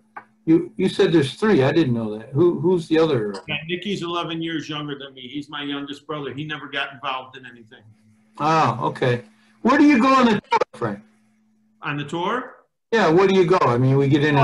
I'll take you through. Um, I I start out. We'll go over to Holy Name Cathedral. I talk about some of the history. You know, Capone. I go over by uh, St. Valentine's Massacre. But then I take you to the Grand Grand and Ogden. I take you where my dad grew up. You know, so I go through the patch. Then I go to uh, I go down Taylor Street. Show you some history on Taylor Street, Little Italy. Then I take you through Chinatown. Uh, I take you through. I'll show you different sites there. Take you by Sox Park where one of the murders happened. Um, then I come back down through the loop. I go through the Rush Street area, Old Town. So I, I give you a little history of Chicago too. So I hit a few buildings off the architectural tour. Um, Yeah. I'm working out something with Harry Caray's right now. All the all the history they have in their um, building. Um, I actually do a lot of big private tours. So they'll do the luncheon after, and I'll go to the luncheon and we'll you know I'll sit around and talk with people. And then they open up the doors to show you the speakeasy in there. You go downstairs and see the history there's there's just such a wealth and, and I've just been Yeah. growing with it more and more. You know, when you come on a tour, it's not just about hey John Doe got shot over there and this guy No. shot. I'm talking about the different ethnic areas. I'm talking about food. I'll recommend restaurants, um, places to go, architectural buildings, a little bit As- about history. as somebody not from Chicago, you know, I've lived here for 12 years, but you know, not from here, it really, it really blew me away learning about the and and just watching somebody from Chicago drive who just knows everywhere with it, you know, just like the back of their hand, just weaving th- through the neighborhoods and all. I mean, it, it was really a great tour to just to learn about the city, and and the mob stuff is secondary, but like like Frank said, it's it's the history, it's the architecture, it's the good places to eat. It was really a great all-encompassing tour just to learn about the city itself. You said Harry Caray. Is that Harry Caray's steakhouse or different? Well, it's, it's, yeah, it's, it's, it's, well, the, the main one is on Dearborn and, um, Kyle? um, I'm sorry, uh, here, was it, um, oh man, it's right up by the river right there. Yeah. Um, Yeah, that's the main building. There's a lot of history in that building. Paul Ricca owned that building at one time with Frank Nitti. I didn't know that. Yeah, and he used to part of it, the building next door. They had they had a warehouse there for the bootlegging and everything. They they have a lot of memorabilia in there that they Right. found. Ah, man. Yeah, I, I did a show on uh, CNN International. It's a travel show, and I took them around and took them in there, and uh, we, I took them to a lot of the historical stuff, and um, it was great. I mean, it was more of, about you know, so you see my part with it, and all these other people with the city and these other tours and stuff. It was pretty cool. So I stay in the hotel, or I did many times, next, well, kind of next to Harry, the baseball guy, right? Harry Caray. Yeah. Yeah. Uh, yeah, and I stayed, I didn't know that you could go in. I didn't know that. I thought it was just, was very close friends with my uncle Ed Hanley. well, well that makes sense, doesn't it? Yeah, he was he was uh, good, and um, You know, Frank, the Holy Name Cathedral? yeah, Well, across the street, most people don't realize that, oh, guys, that was where O'Banion's flower shop was, just a little, Right. and that's where he, did you know he was killed? And Well, John, one of the things I do on the tours, because everything's changed, is I found pictures. So while I'm talking to you and we're in front of Holy Name, I pull up the picture showing Right. Canyon Flower Shop. I show you different angles. I show you Right. not only the bullet holes in the wall now that's mostly covered, but I show you a picture the day after it happens. So yeah, so I take you in areas and I, sh- I have the pictures. In the meantime, I'm showing you pictures of stuff from mine. Because people like to visualize too. Yeah, Some- yeah, it's a yeah. He's got the media right there. It's not just a you know, it's not just driving around and pointing. He's got the there's the media right there, and, and you know with the with the uh, period pictures. Chicken And I learned all that myself with PowerPoint and keynotes, and, and, and I've been learning. I wanted to know how to do it. So I would go take the free classes at Apple, and that's how I learned to do all this stuff. So I put my whole PowerPoint, I made my website. You know, I'm learning. Yeah, I'm learning. I'm learning. Trying to learn you wanna something new stand- right now, Frank. You, you're giving me hope. doing okay though, uh, Cam, you're doing good. Yeah. You know, uh, uh, Chicken McFadden was a bad guy who worked for Roger Touhy, and his son was a detective. And many years ago, I drove around, and he said, "There's a cathedral," and uh, he said, "There were more bullet holes till goddamn vandals patched them up." Only in Chicago would they see. Vandals patching up bullet holes. and my one restaurant that I used to own is right around the corner over there, Bella Luna.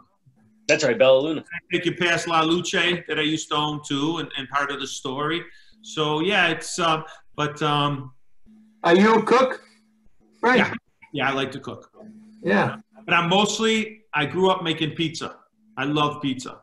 So I grew up at a, a place in Elmwood Park called Armand's. You see it a lot where they talk where DiFronzo and Cerone and all those guys. It was a block away from my house. I started working there when I was 14. Is that Jane Armand's? Right? Um, They said that was the last thing Jackie Cerone wanted. For, as soon as he got out of prison, right before he died, he wanted to eat Armands. Yeah, and I can tell you tons of stories of stuff there, you know, and, and guys and Is, things. And it's it's you know is that the chain? Because we have an Armand's in Churchtown. It's it's uh it's a small chain now in the Chicagoland area, but it's not out of Chicago. No.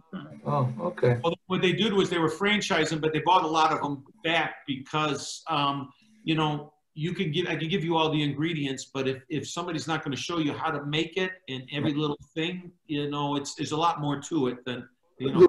Here made uh, Armand Chicago style pizza, which is this thick. Uh, well, you know it. Then. Yeah. Yeah. So in all the Italian neighborhoods, we eat the thin crust. Okay. Yeah. But Armand's is a deep, there's a, the deep dish, which is, is big downtown, but we used to have the raised Sicilian, is what it is with the, the, the toppings. You got to have a good dough to have that. Yeah, yeah. So, I I have made uh, 25 pizzas throughout. It, it's just and all the money I bought the brown thing you're supposed to. Uh, you know what it is? You got to have an oven first Yeah. that can cook at a high temperature. Uh, yeah and no, John. If you get the pizza stone, you put it all the way on the bottom, you preheat that oven for 30 minutes at 500 degrees, that pizza stone will be good. Put a little cornmeal on the bottom so the pizza slides on and off. Yeah. And it cooks close. It's the closest thing without buying a pizza you know, Pepe's Pizza. I don't know if you've ever heard of it in New Haven. I've heard of it. Yeah, I haven't had it though. He says they invented, they brought the pizza. That's their trademark, is the corn on the bottom, and it does make a difference. It's really delicious. You know. Yeah, Uh, yeah. I'm a pizza holic, so Yeah. Was, uh, for 12 bucks, I just buy it and uh, sit around and curse myself out for burning another one's. And 12, 15 bucks, you know. Bear in mind, I'm in West Virginia. First- the first time we had ever had Lou Malnati's was when we went to your uh, your tour, Frank, and we left, and you had people right after. I was like, damn, if, uh, if you didn't have people, we would have had you come over to uh, Lou Malnati's with us. yeah, I would have loved to. Yeah, that's the only downfall from the tour. I meet a lot of great people. They invite me out, and if they don't do it prior, if they do it prior, I'll put them on the last tour. But if Yeah. they don't do it prior, I, you know, I'm a workaholic. I take an hour, hour and a half between each tour. My tours run over half the time, and um, you know, I, I just get in this. role. yeah, we we didn't even think of it. We just we thought, oh yeah, shit, let's go get pizza. We're downtown, you know. Um, next time you guys are in Chicago, there's a place called Armand's Victory Tap. Um, it's on South Michigan Avenue. It's the um, it's the original Armand's recipe with the pizza. It's really good. And then Victory Italia is right down the street on Ontario, um, just um, uh, uh, past Orleans, and that's the original Armand's stew. So pizza, the thin crust pizza, and the stuffed artichoke and the baked clams is what I highly recommend. Yeah, we already plotted this out. We got a crew. We were going to talk to you about renting a bus. We got enough people. You know, that that would be a great. once I'm back, that's what I do. You know, if if, if you guys want to rent the bus, you want me to rent the bus, I, I work all that out. But um, I'm doing more and more private tours because I enjoy that, um, and people, people seem to enjoy it too. And a lot of, What do you do in Chinatown? You you give a tour there too? What I mean, or you just go through well, Chinatown? I'm, I'm- I'm taking you. No, we're going through Chinatown. I'll take you past a few clubs. You know, I show you stuff. Sometimes I get lucky. All the guys are sitting outside. It looks like a scene on The Sopranos or something. Um, but uh, um, yeah, I take you through. I just give you a little idea of the area. I take you past Angelo's house, and um, that's the only house I go through. And but I don't I don't take to anybody else's house. Um, and I take you where my dad grew up uh, um, uh, on Grand Avenue. Um, Of uh, what's left of the patch? not much. It's a lot of areas are gentrified. you know. Yeah. Yeah. eh, Um, uh, Chinatown is probably Bridgeport. Chinatown is probably the last ethnic area where there's still a lot of people in there, and you'll get that feel when we go in there. You know, but most of the other areas, it's just prime real estate. People have moved out. You know, me growing up on Harlem Avenue in the 80s and 90s, that was the new Little Italy. That's where everybody, when they got off the boat, were going. There's a couple bakeries on on Taylor Street still, but and, and like new Italian restaurants, but there's not the old places anymore. People have No, built new places on Taylor Street. I think Tufano's is one of the last ones now because they're all moving out. And uh, uh, You uh, do. Uh, Can't afford it anymore down there. I say the Levee. You say the Levee. Twenty Second Street, right? Cam. The Uh, Levee. What had been the Levee. Uh, twenty. along um, 22nd Street, that's uh, Yeah. Sherman. Cermak is 22nd, Is 26 is. uh, 26th Street, 33rd Street is uh, Chinatown. Yeah. So, uh, Sox Park is on 35th. Yeah. But running down where the that was uh what is that? Is that 26 where the le- where the levee is? Um, the wall is. I can't. I think that's 26. I can't remember. Twenty Second Street, which is now Cermak. Yeah, Yeah, 22nd 22nd Cermak. It's always been Cermak, 22nd Street. Oh they Oh, don't. They don't. It, this is it, Chicago's not like New York. You don't call street. You know, it's not street numbers. It's uh, you know, and you don't call the interstate numbers either. It's the Dan Ryan. It's the uh, the Eads. Eden's yeah, and E- Ryan. yeah, Edens and uh, yeah. Sorry, Edens is the elementary school down the street. Oh. Sorry, gentlemen. Eisenhower. Yeah, to the uh, what town was that, Paul? That wa- I told you, Sam Giancana lived there and Accardo. Oak Park. Oak Park, Yeah, that's River Forest. yeah, that's like a who's who of. Yeah, so they all border. You got um, Galewood, um, uh, Oak Park, River Forest, and um, and Elmwood Park. That's yeah, yeah. And then you got Paul Ricca's old house with the elevator in there. Um, uh, yeah, you got a lot of guys there. Cardo's houses. Uh, yeah, a lot of them moved out there. In fact, you know, for many years there was there was a law that you um, that you couldn't rob in Elmwood Park or in those areas. You know, if you did you get hurt? You know. Yeah. So oh, it's because they're concerned about the neighborhood. Not always that was concerned about the heat that would bring to them. Yeah. As a kid, did you know any of these guys? Accardo, Ricca? Ricca, I think, was dead before your. Ricca, Ricca, yeah, all I knew was about Ricca. We walked past his house one day when me and my dad were walking, and, you know, he had just said that guy right there was the guy. Oh, oh. He was the guy. You hear about Capone all the time, but this guy right here. Ricardo, I, I would be at weddings or something like that, you know, but if you're not introduced to somebody, you don't, you don't just walk up and say, hi, you know, and, um, so yeah, I was around them all. Um, Sam Giancana, I grew up with his grandkids. So, um, you know, so I knew his, his daughter Antoinette, but I grew up with the grandkids. Um, but I never met him. You know, I have- And Ned's still around someplace in Chicago. Yeah. Um, in fact, when we were, I think it was when we were in prison, the nephew, Sam Giancana, the nephew, wrote a book about his uncle. And my dad said that book, whoever fed him that information, it was spot on. And I don't remember the name of the book, but um, it's Double Black cross. Dawn. Is that it? Is that no double cross? Double cross. Double That's but it's it's um, it's written by the nephew, and it's it's you know guys in the life were talking about it. That there was stuff in there that was you know spot on. Is it double cross, uh, Kim? Yeah. Yeah? Yeah. That's yeah. Right, Paul. That's it. Double cross. Yep, double cross. Sam and Chuck Giancana wrote that. I completely blew that off, Paul. I didn't, even- I read a page or two. Really, I just thought it was this guy making stuff up. No, uh, you know, guys in the life were talking about that book. They were talking about that book, and years prior, they were talking about a book that's hard to find. And oh my God, um, The Don by William Brashler. Yes, the Don. Yeah. All those books by Brashler I'm are, are, are pretty. Uh, The Brashler Don. Don Henry on. I think this Brashler and Don was Henry on. 70s when everything was changing. Um, oh God, if I say it, it's hard to find. But my dad loved that book. He thought that. Oh God. Yeah, you got to think of the name of that now. That's, it. I mean, you can't leave us here. Yeah, it was. It's it's it's a real weird name. It doesn't sound like a mob book. Is it the Chi- Chicago Way? No, no. Uh, um. Oh man, I have to. I have to. Uh, Oh, uh, Captive City. yes. Yeah, Captive City's the book, isn't it? Yeah. Ovid Demaris. Yeah. Ovid Demaris. Yeah. Yeah. Demaris put out some good stuff. Yes. Captive City. There you go. Yes, that's it. Yeah. Yeah.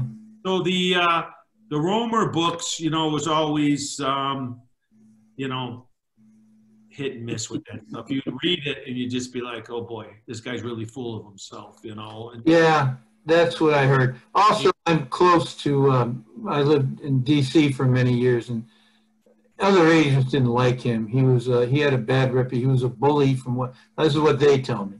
Yeah. He was a physical, I guess he was a big guy, but he tended to be a bully and, uh, challenging people to fights. He had been a heavyweight boxer or something. And uh, He was always very kind to me. I I, I always liked him, and he always took the time to talk to me.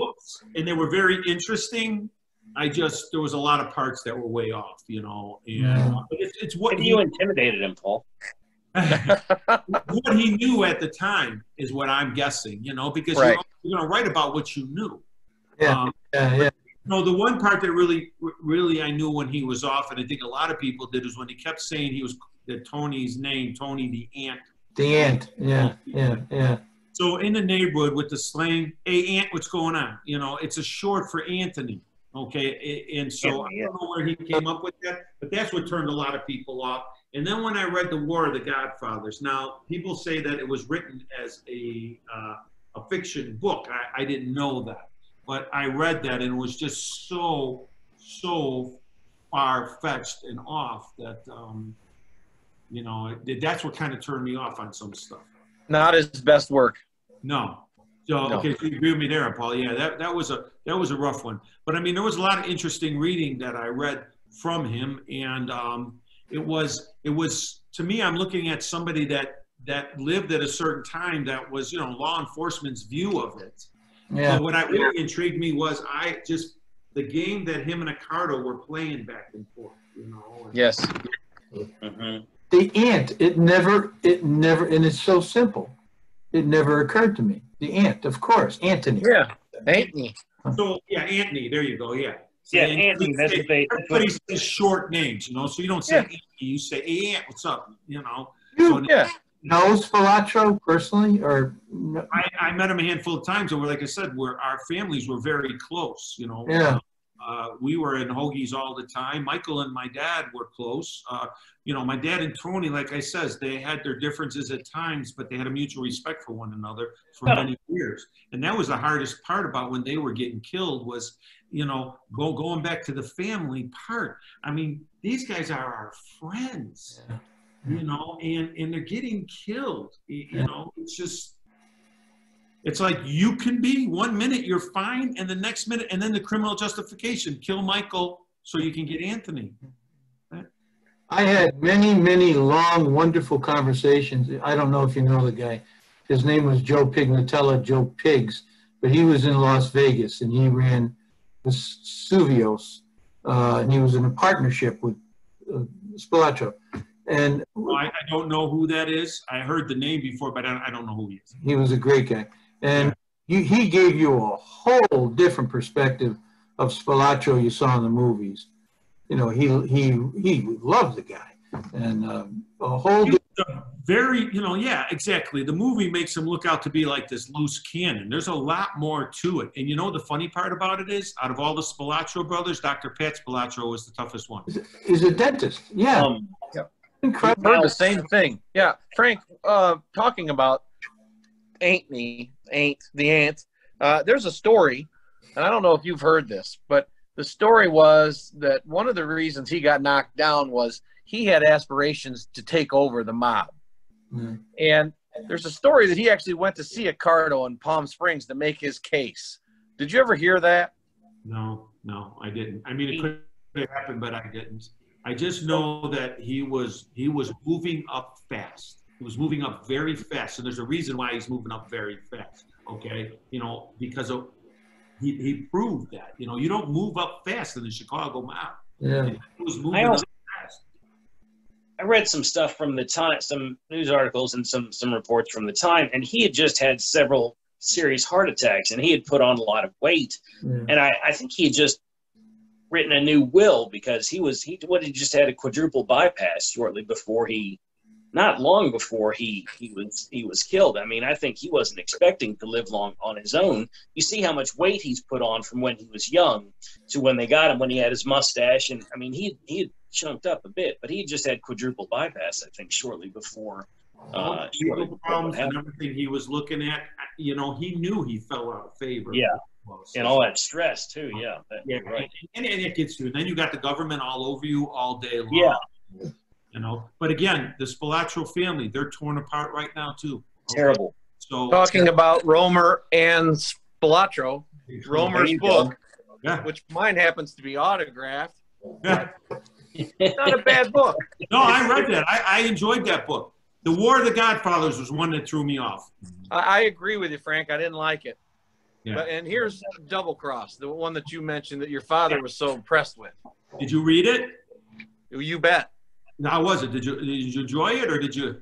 I thought it was great reading. I just didn't know that I believed a lot of it. But saying that your father said it was really on, I'm going to read it again. Yeah, yeah, I got to read it again too. But I remember my dad telling me, and I did read it. I just don't remember, you know, because one of the things I did in prison was I read as many books as I could. And a guy told me that was down for 10 years. He goes, write down what you read. He goes, because you're going to wind up reading books twice. I'd pick up a book a year later. I get a chapter in and say, oh, shit, I read this one already. So then I started writing them down. Yeah, yeah, that's happened to me as well. Same thing.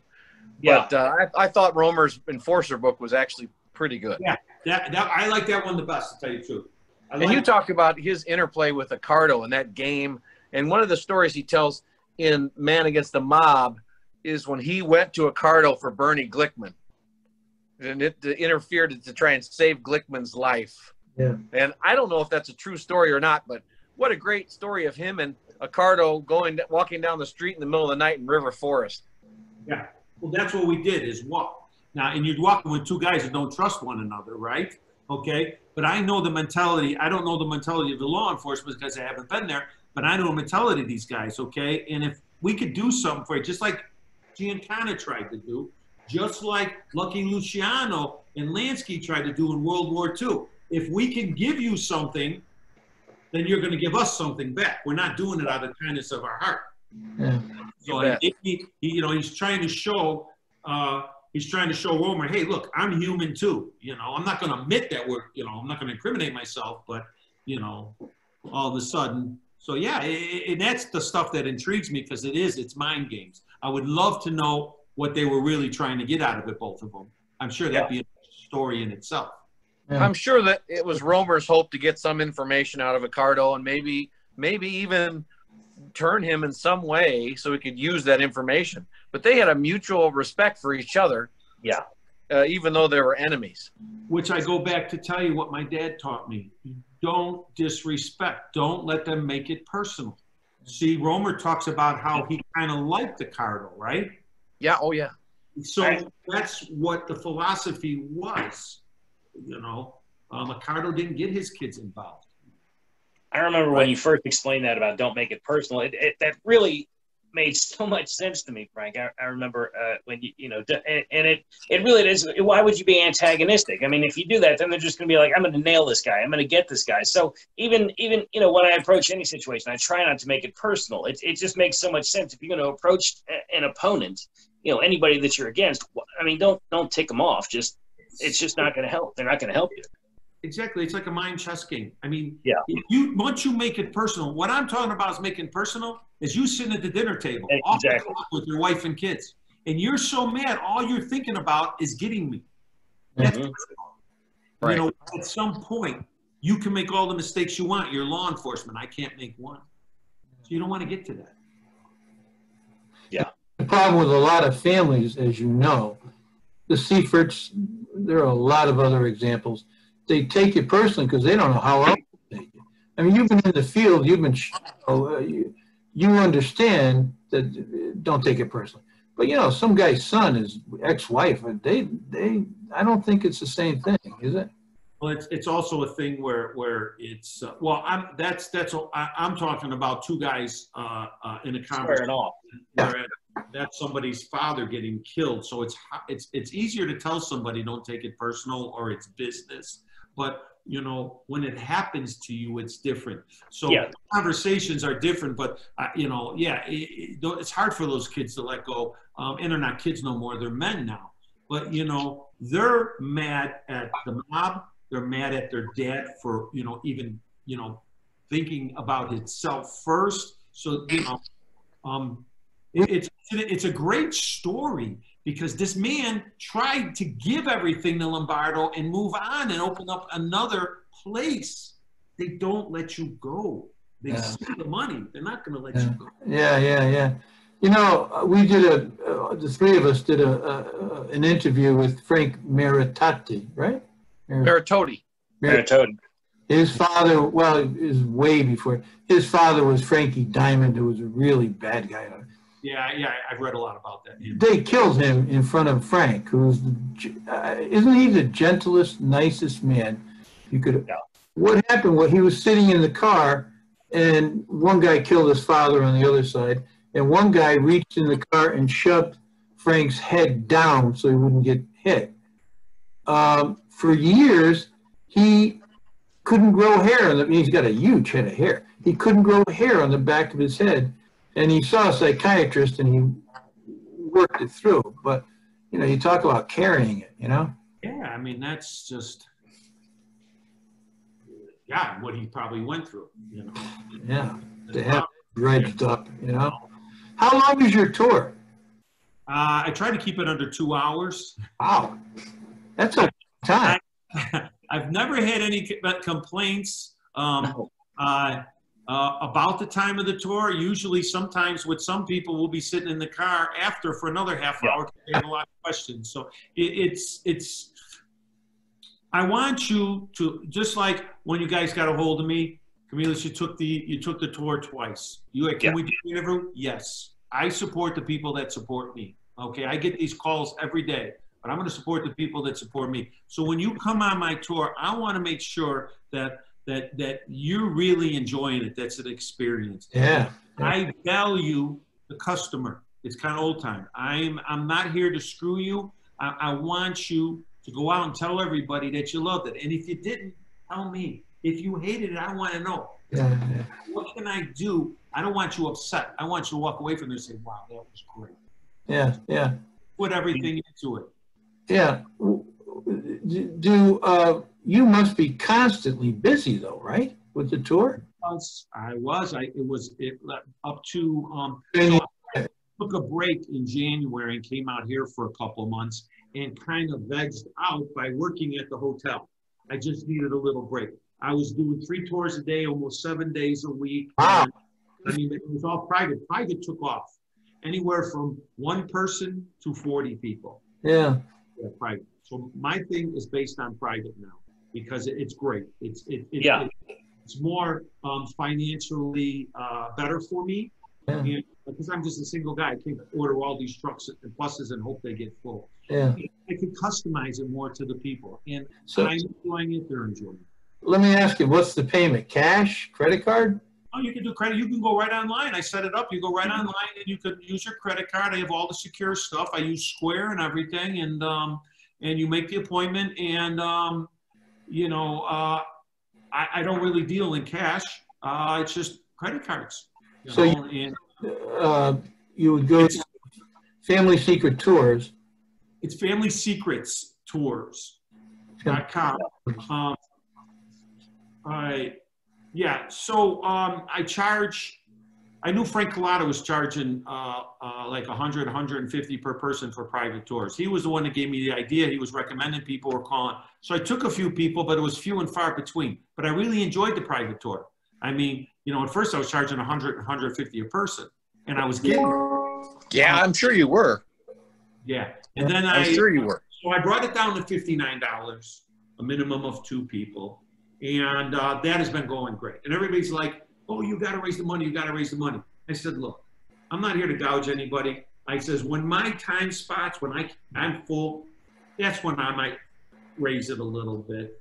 But in and bus, it's thirty-nine dollars a person. If I did the public bus tours, that was hard because people come late. I tell you to come ten minutes before and it, it was hard. It's hard. It's hard filling up those buses. A lot of advertisement. Do you know? I my I built my my company off of TripAdvisor, Yelp, and Google, Yeah, and um, and uh, I do very little advertising, and God, it took off. And uh, Yeah, that, I put you on the uh, put you on the news a couple times, and that was uh, you know that was where I, I think I saw you on a, a news clip on YouTube, and that was uh, that was that. yeah, I Yeah, thought- same here. As soon as you're back online, I want to bring the wife in and, and, and do the private tour. I have a feeling that all this COVID's going to go away early in November, but maybe I'm just suspicious. I, I, I hope you're right. Yeah. I really hope you're right because I really want to get back to it. Right now, what I'm looking at is I'm thinking March. That's what I'm thinking, you know, and just waiting. You know, I started getting a lot of calls two weeks ago, a lot of calls about private tours. And then after Sunday and then this following Saturday, it's been nothing, nothing. And that, I can't go back to Chicago and base on opening up a business and not knowing what's going to happen that weekend downtown in the whole area that I go through. So Right. I have, I have to sit back and wait because I'm antsy. I want to get back to it. I enjoy it. Right. Well, when I was downtown with my wife the other day, it was it was practically deserted compared to what you usually see, guys, and and there's broken glass everywhere. Even the Ronald McDonald House was torn up. Yeah. And uh, you remember Central Camera that's down there, right in the loop, that old camera store that's been there for a hundred years, Yeah. gone, a, a hole in the wall, just totally, totally destroyed. Yeah, a lot of businesses aren't going to reopen either, and it's a shame because there's just so much history and so much beauty in the city, and, and I hate to see Yeah. it. You know, hopefully, hopefully, um, we can get back. You know, I just want to get back to work. I want to get back to work. I want to enjoy what I do, and um, You know, Frank, I have guys I know out there with a fraction of your knowledge and background. Uh, policemen, historians who are guessing their way through. The city of Chicago, no, Cook County library system has a speakers. Do you know about that? You just go from one library. I, I, I just started looking into all this stuff. Even out here too, there's a huge network that I'm that I'm working on. So I'm putting some stuff together right now so that I can start sending it out, emailing it to all these companies. I've been lucky because um, a lot of my my work is through mouth, word of mouth. Word of mouth. So I, I do a presentation and then I get five calls after that before the communities. I do almost every different community. Um, You know the that uh, John Alite's got a, uh, a podcast. He's got a decent following. Uh, Yeah. John just started talking to him. On the got- phone- I talked to John on Yeah. the phone the other day. I was gonna. He just. I just realized he had a big podcast. He had. A, he has a really good following. You know. He also, well, he's written, I think, three books. He also was in uh, uh, on Netflix that that that um that Yeah. series that limited. Yeah. Uh, series on there. John just uh, just talked to him on the phone recently. Got uh, talking to him. He's, He's very social media savvy. He really is. Did you interview him already? Huh? Did you guys interview him already? No, we were going to. I liked him a great deal. I thought he was a good guy. Because I, I I can contact him if you once you guys are ready, and I, I can make a connection. We're nice guys that we don't ask dirty questions and take cheap shots. And uh, he's an Albanian guy. Did I tell you that? He's no Yeah. Yeah. I, I I also know some people that are very close to him too, and uh, yeah, he's uh, he has very interesting story. Very interesting story. I, we think what we're going to do, Frank, is uh, specialize in Chicago. Okay. Yeah, that, that's that's a great plan. Um, I'm trying to think. Um, do you guys know Kenji Gallo? No. I, yeah, I, I, I, I don't know him. I know him from he was on Gary's show, and uh, you know, uh, Gangland Wire. So I was gonna, I was gonna see about getting his information because he tells a hell of a story. Yeah, yeah, and how he's changed his life around. So Kenji's a real close friend of mine. He lives out in the suburbs. He opened up a, um, a martial arts school for training. He teaches, he volunteers a lot of times with Alzheimer, older people getting in shape. It's an MMA school. Uh, Kenny is half Italian, half Japanese. He's got a He's here. He's he's here in in Chicago. Yeah. I did. I, I thought he might be out in Los Angeles. No, he was in Los Angeles. He moved to Chicago. His wife is from Chicago, but they're out in the suburbs. Um, Kenji's very close with me. So if you guys, if you want, just let me know when you're ready and I'll have him contact you. Um, Thank you, uh, he's Frank. got a hell of a story like mine. Okay. Thank Thank you, Frank. We would like that. We would Yes, really like that. absolutely. wouldn't Thank you guys? very much. It's Sep- Um, I'll try to think anybody Chicago that's interested in um, in talking. Um, I I just have to think, you know, uh, who else. Then also, it's always because me and me and Kenji, along with a guy named uh, um, uh, Andrew Di Donato from the Gambino family. Andrew, Donato's got a hell of a good story too. yeah, so the three of us were doing some speaking uh, engagements, and we did one in Vegas. We did a couple in Vegas. So we did it with the Clark County Library. They have a huge auditorium, holds like 300 people. So they wanted me to talk. I said, well, I'm going to bring Andrew and Kenji. They said, well, they already talked. I says, okay. I said, but what I want to do here is I wanted to try something different. So on the screen behind us, I just put a continuous because it was a huge screen, continuous slides of, you know, New York, Chicago, Vegas, and all that. And we had three stools and we sat out there and we talked about the East Coast, Chicago, West Coast. We talked about how we operated, how, we, you know, and That, that's great. everybody away. They would just love it.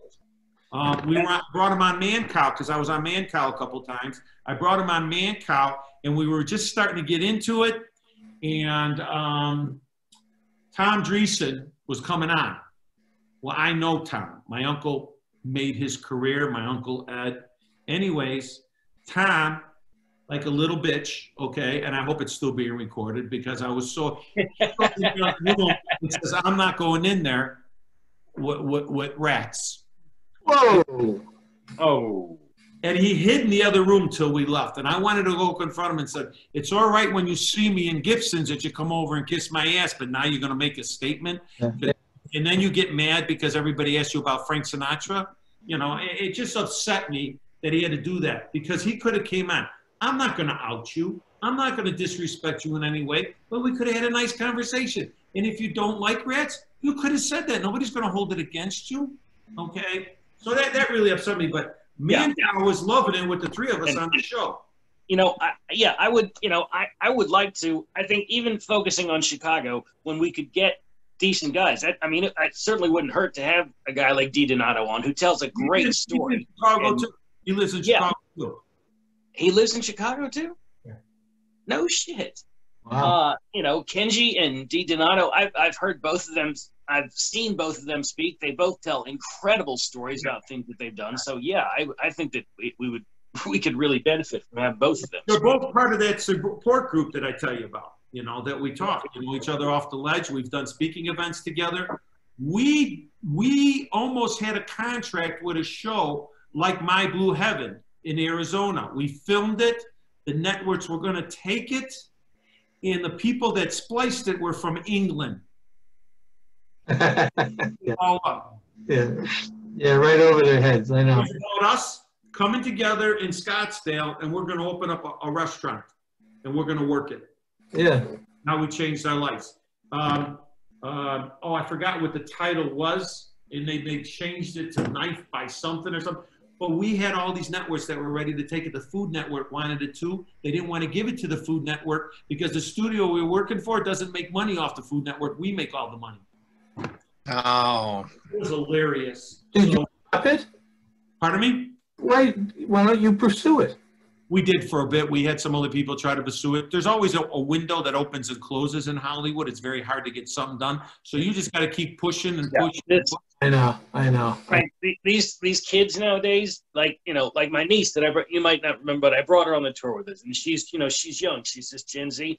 Like I've been telling, like they're all about this this you know this stuff that to them is not a re, you know this this mob stuff and all like the idea of it, and I don't mean that's all, but but just anything that they can do, it's it's going to be big. It's like you know what you know, it's you see this new thing on Netflix and all. I think that anything to do with that is going to be you know the next next thing and i think the kids are going to really be into it so i think that something like that's got a huge potential yeah you know, well, you know point cam that it's all new then exactly that's it's all new to this new generation frank The more this is over, the more people are intrigued with it. and So- and these kids don't know about it yeah Right.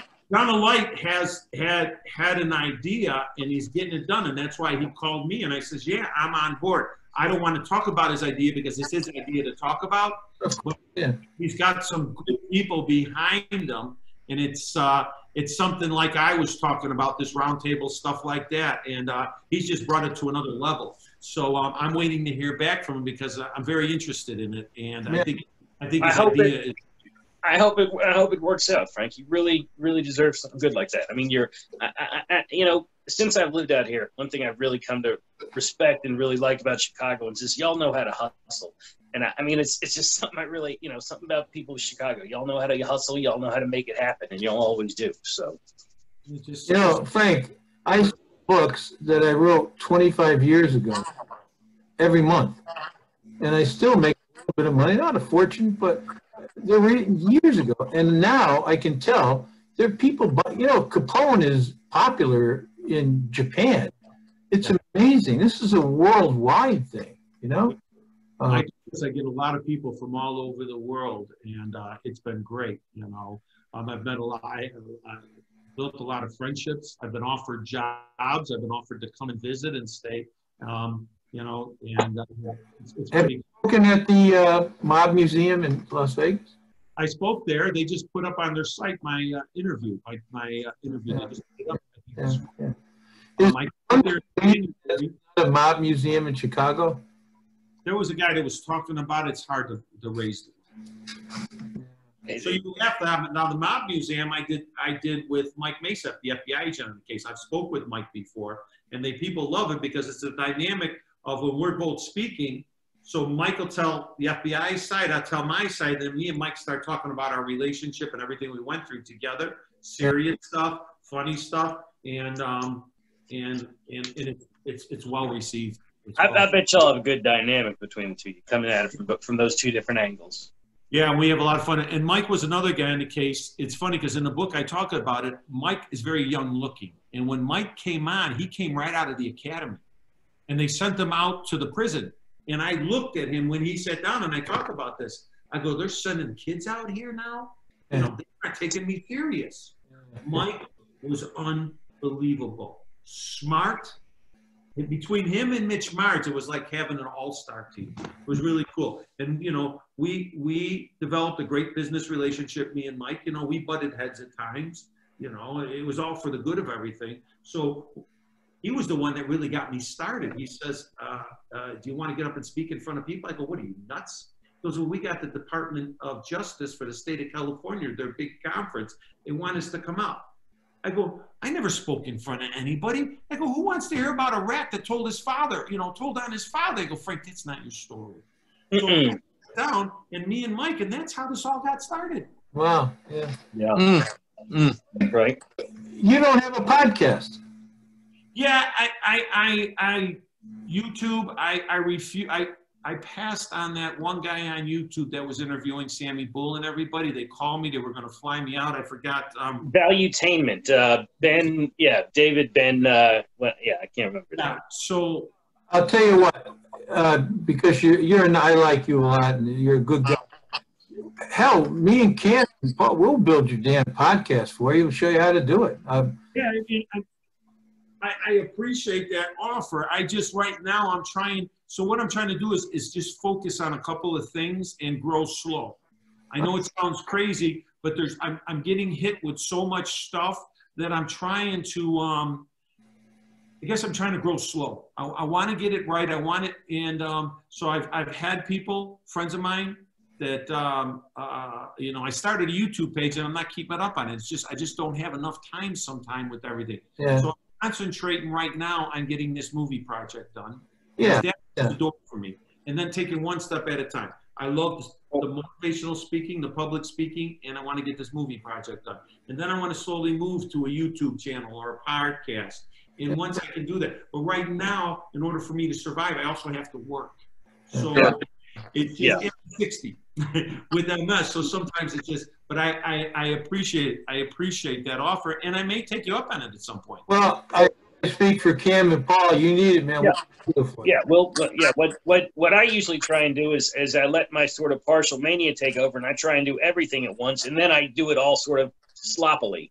Uh, Yeah. But I think that your approach is probably the best. Is uh, Well, it, it works different for everybody. I'm just trying to do what I'm comfortable with. I, I yeah, I'm getting I burnt. think you're exactly right.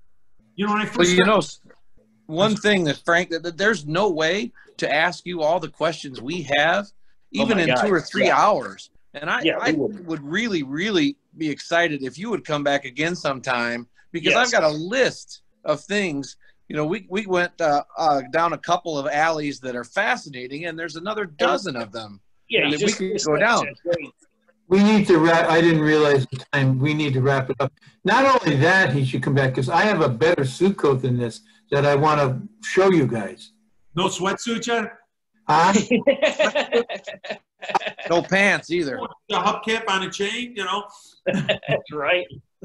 I have, I have beautiful suit coats. So, you know, that's really, I mean, you're important too. I'm gonna, I'm gonna wear my I'm gonna I, I'm gonna got my Puma uh I got my Puma leisure suit. That's what I'm gonna wear next time. There you go. Nice. Oh, maybe your wife will come on with it. You know, Cam, Cam, I'm telling you, she's real. I'm, she's on. She's she's at uh, she's out at the store right now. I'm telling you, she's real.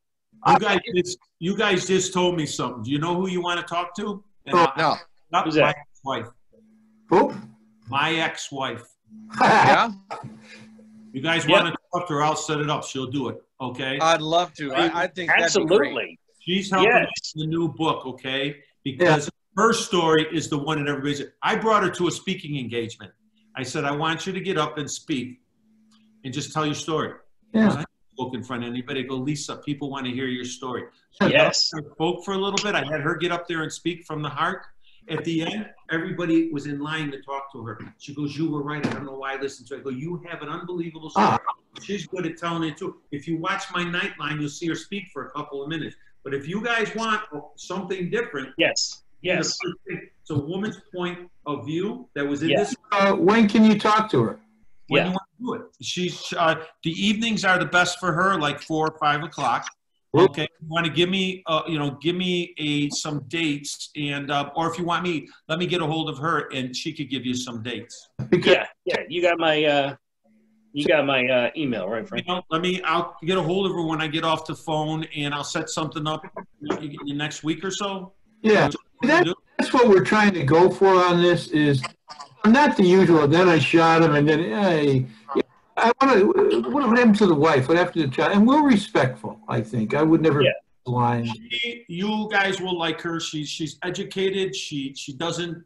She's not like you. So uh, you know, I told my dad, you know, he should kill that motherfucker. You know, no.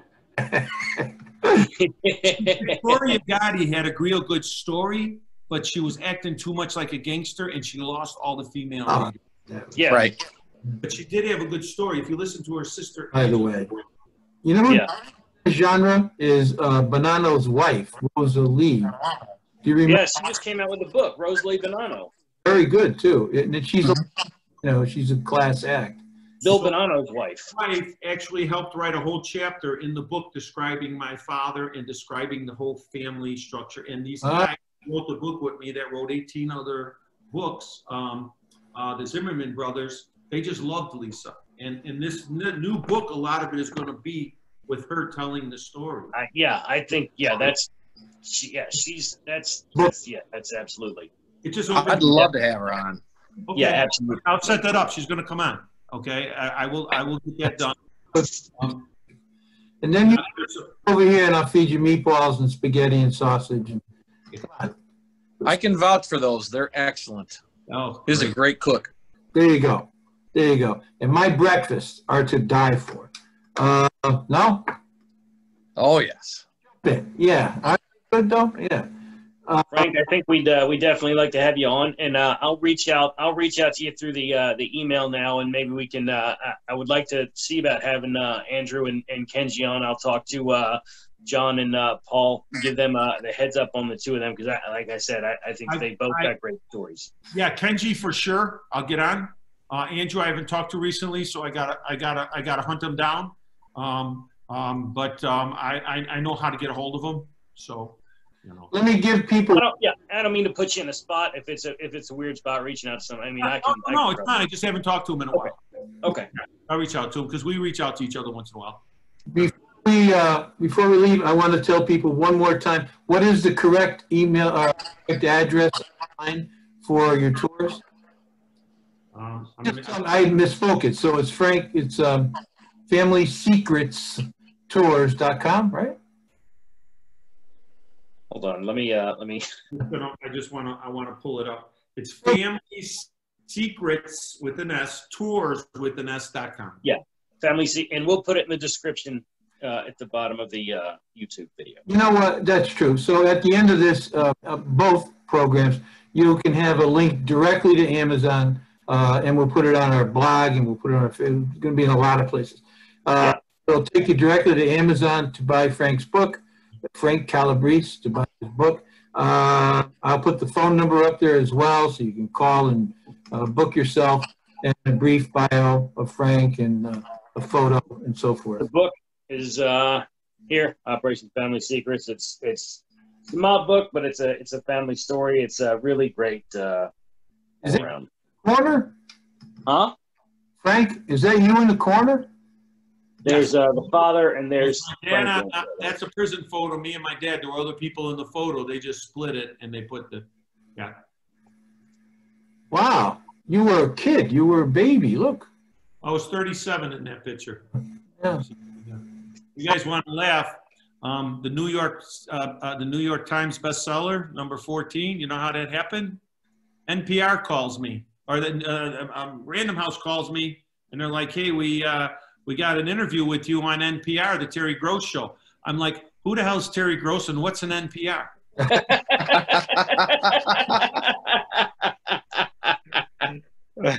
on it twice. I shoot up. I passed uh, Sammy Hagar by one spot, and and that was it. Those are the New York Times readers. NPR, the New York Times readers. You know. and Terry Gross, she'll sell you some books. I learned. Oh, yeah. I learned that. Yes, yes, and that's how I hustle too. I sell my books. Uh, you know, off after the tours, speaking engagements. My girl comes with me, and you know, it's uh, it's just a hustle. That's If it. you can put us in touch with Terry Gross, we could use some new listeners. You know? Yeah, I know. Tell me about it. I want to try to keep in touch too. Um, uh, hopefully, I get them again when um, Absolutely. when Here's I, to you. uh, when I get the second book out. But I'm Here's to excited. you, brother. I'm excited for you guys talking to Lisa. You're going to really enjoy it. Yeah, absolutely. And she's I'm looking forward to it. you know, if she's not going to answer some, she'll tell you, but she's going to really open up, and it's very interesting, very interesting. And I'm going by what other people have told. me. Well, Frank, thank you so much for coming on. It, it's been fantastic. You're going to come back, I hope. Sure. All right, good. That was really. Did you hear that? Yeah, sure. That was really reluctant. She was like, yeah, yeah, yeah. come on. And again, Paul, you're a good man. Thank you. I know you must be exhausted. Ten hour drive last night from DC to back, right? Oh, wow. But we had those delicious grinders to keep us fueled and awake. And you call them grinders. Good man. Good man. What- Well, that came from the East Coast. that's right. What do they call them in Chicago? Sub sandwiches. Sub. Well, that makes sense. Yeah. All right. Gentlemen, good night to you. Thanks. It was a pleasure meeting you guys too. And yes, I definitely will be back on. So, Frank, Our pleasure. Thank you. Frank, I'm going to stop. Hold on. huh?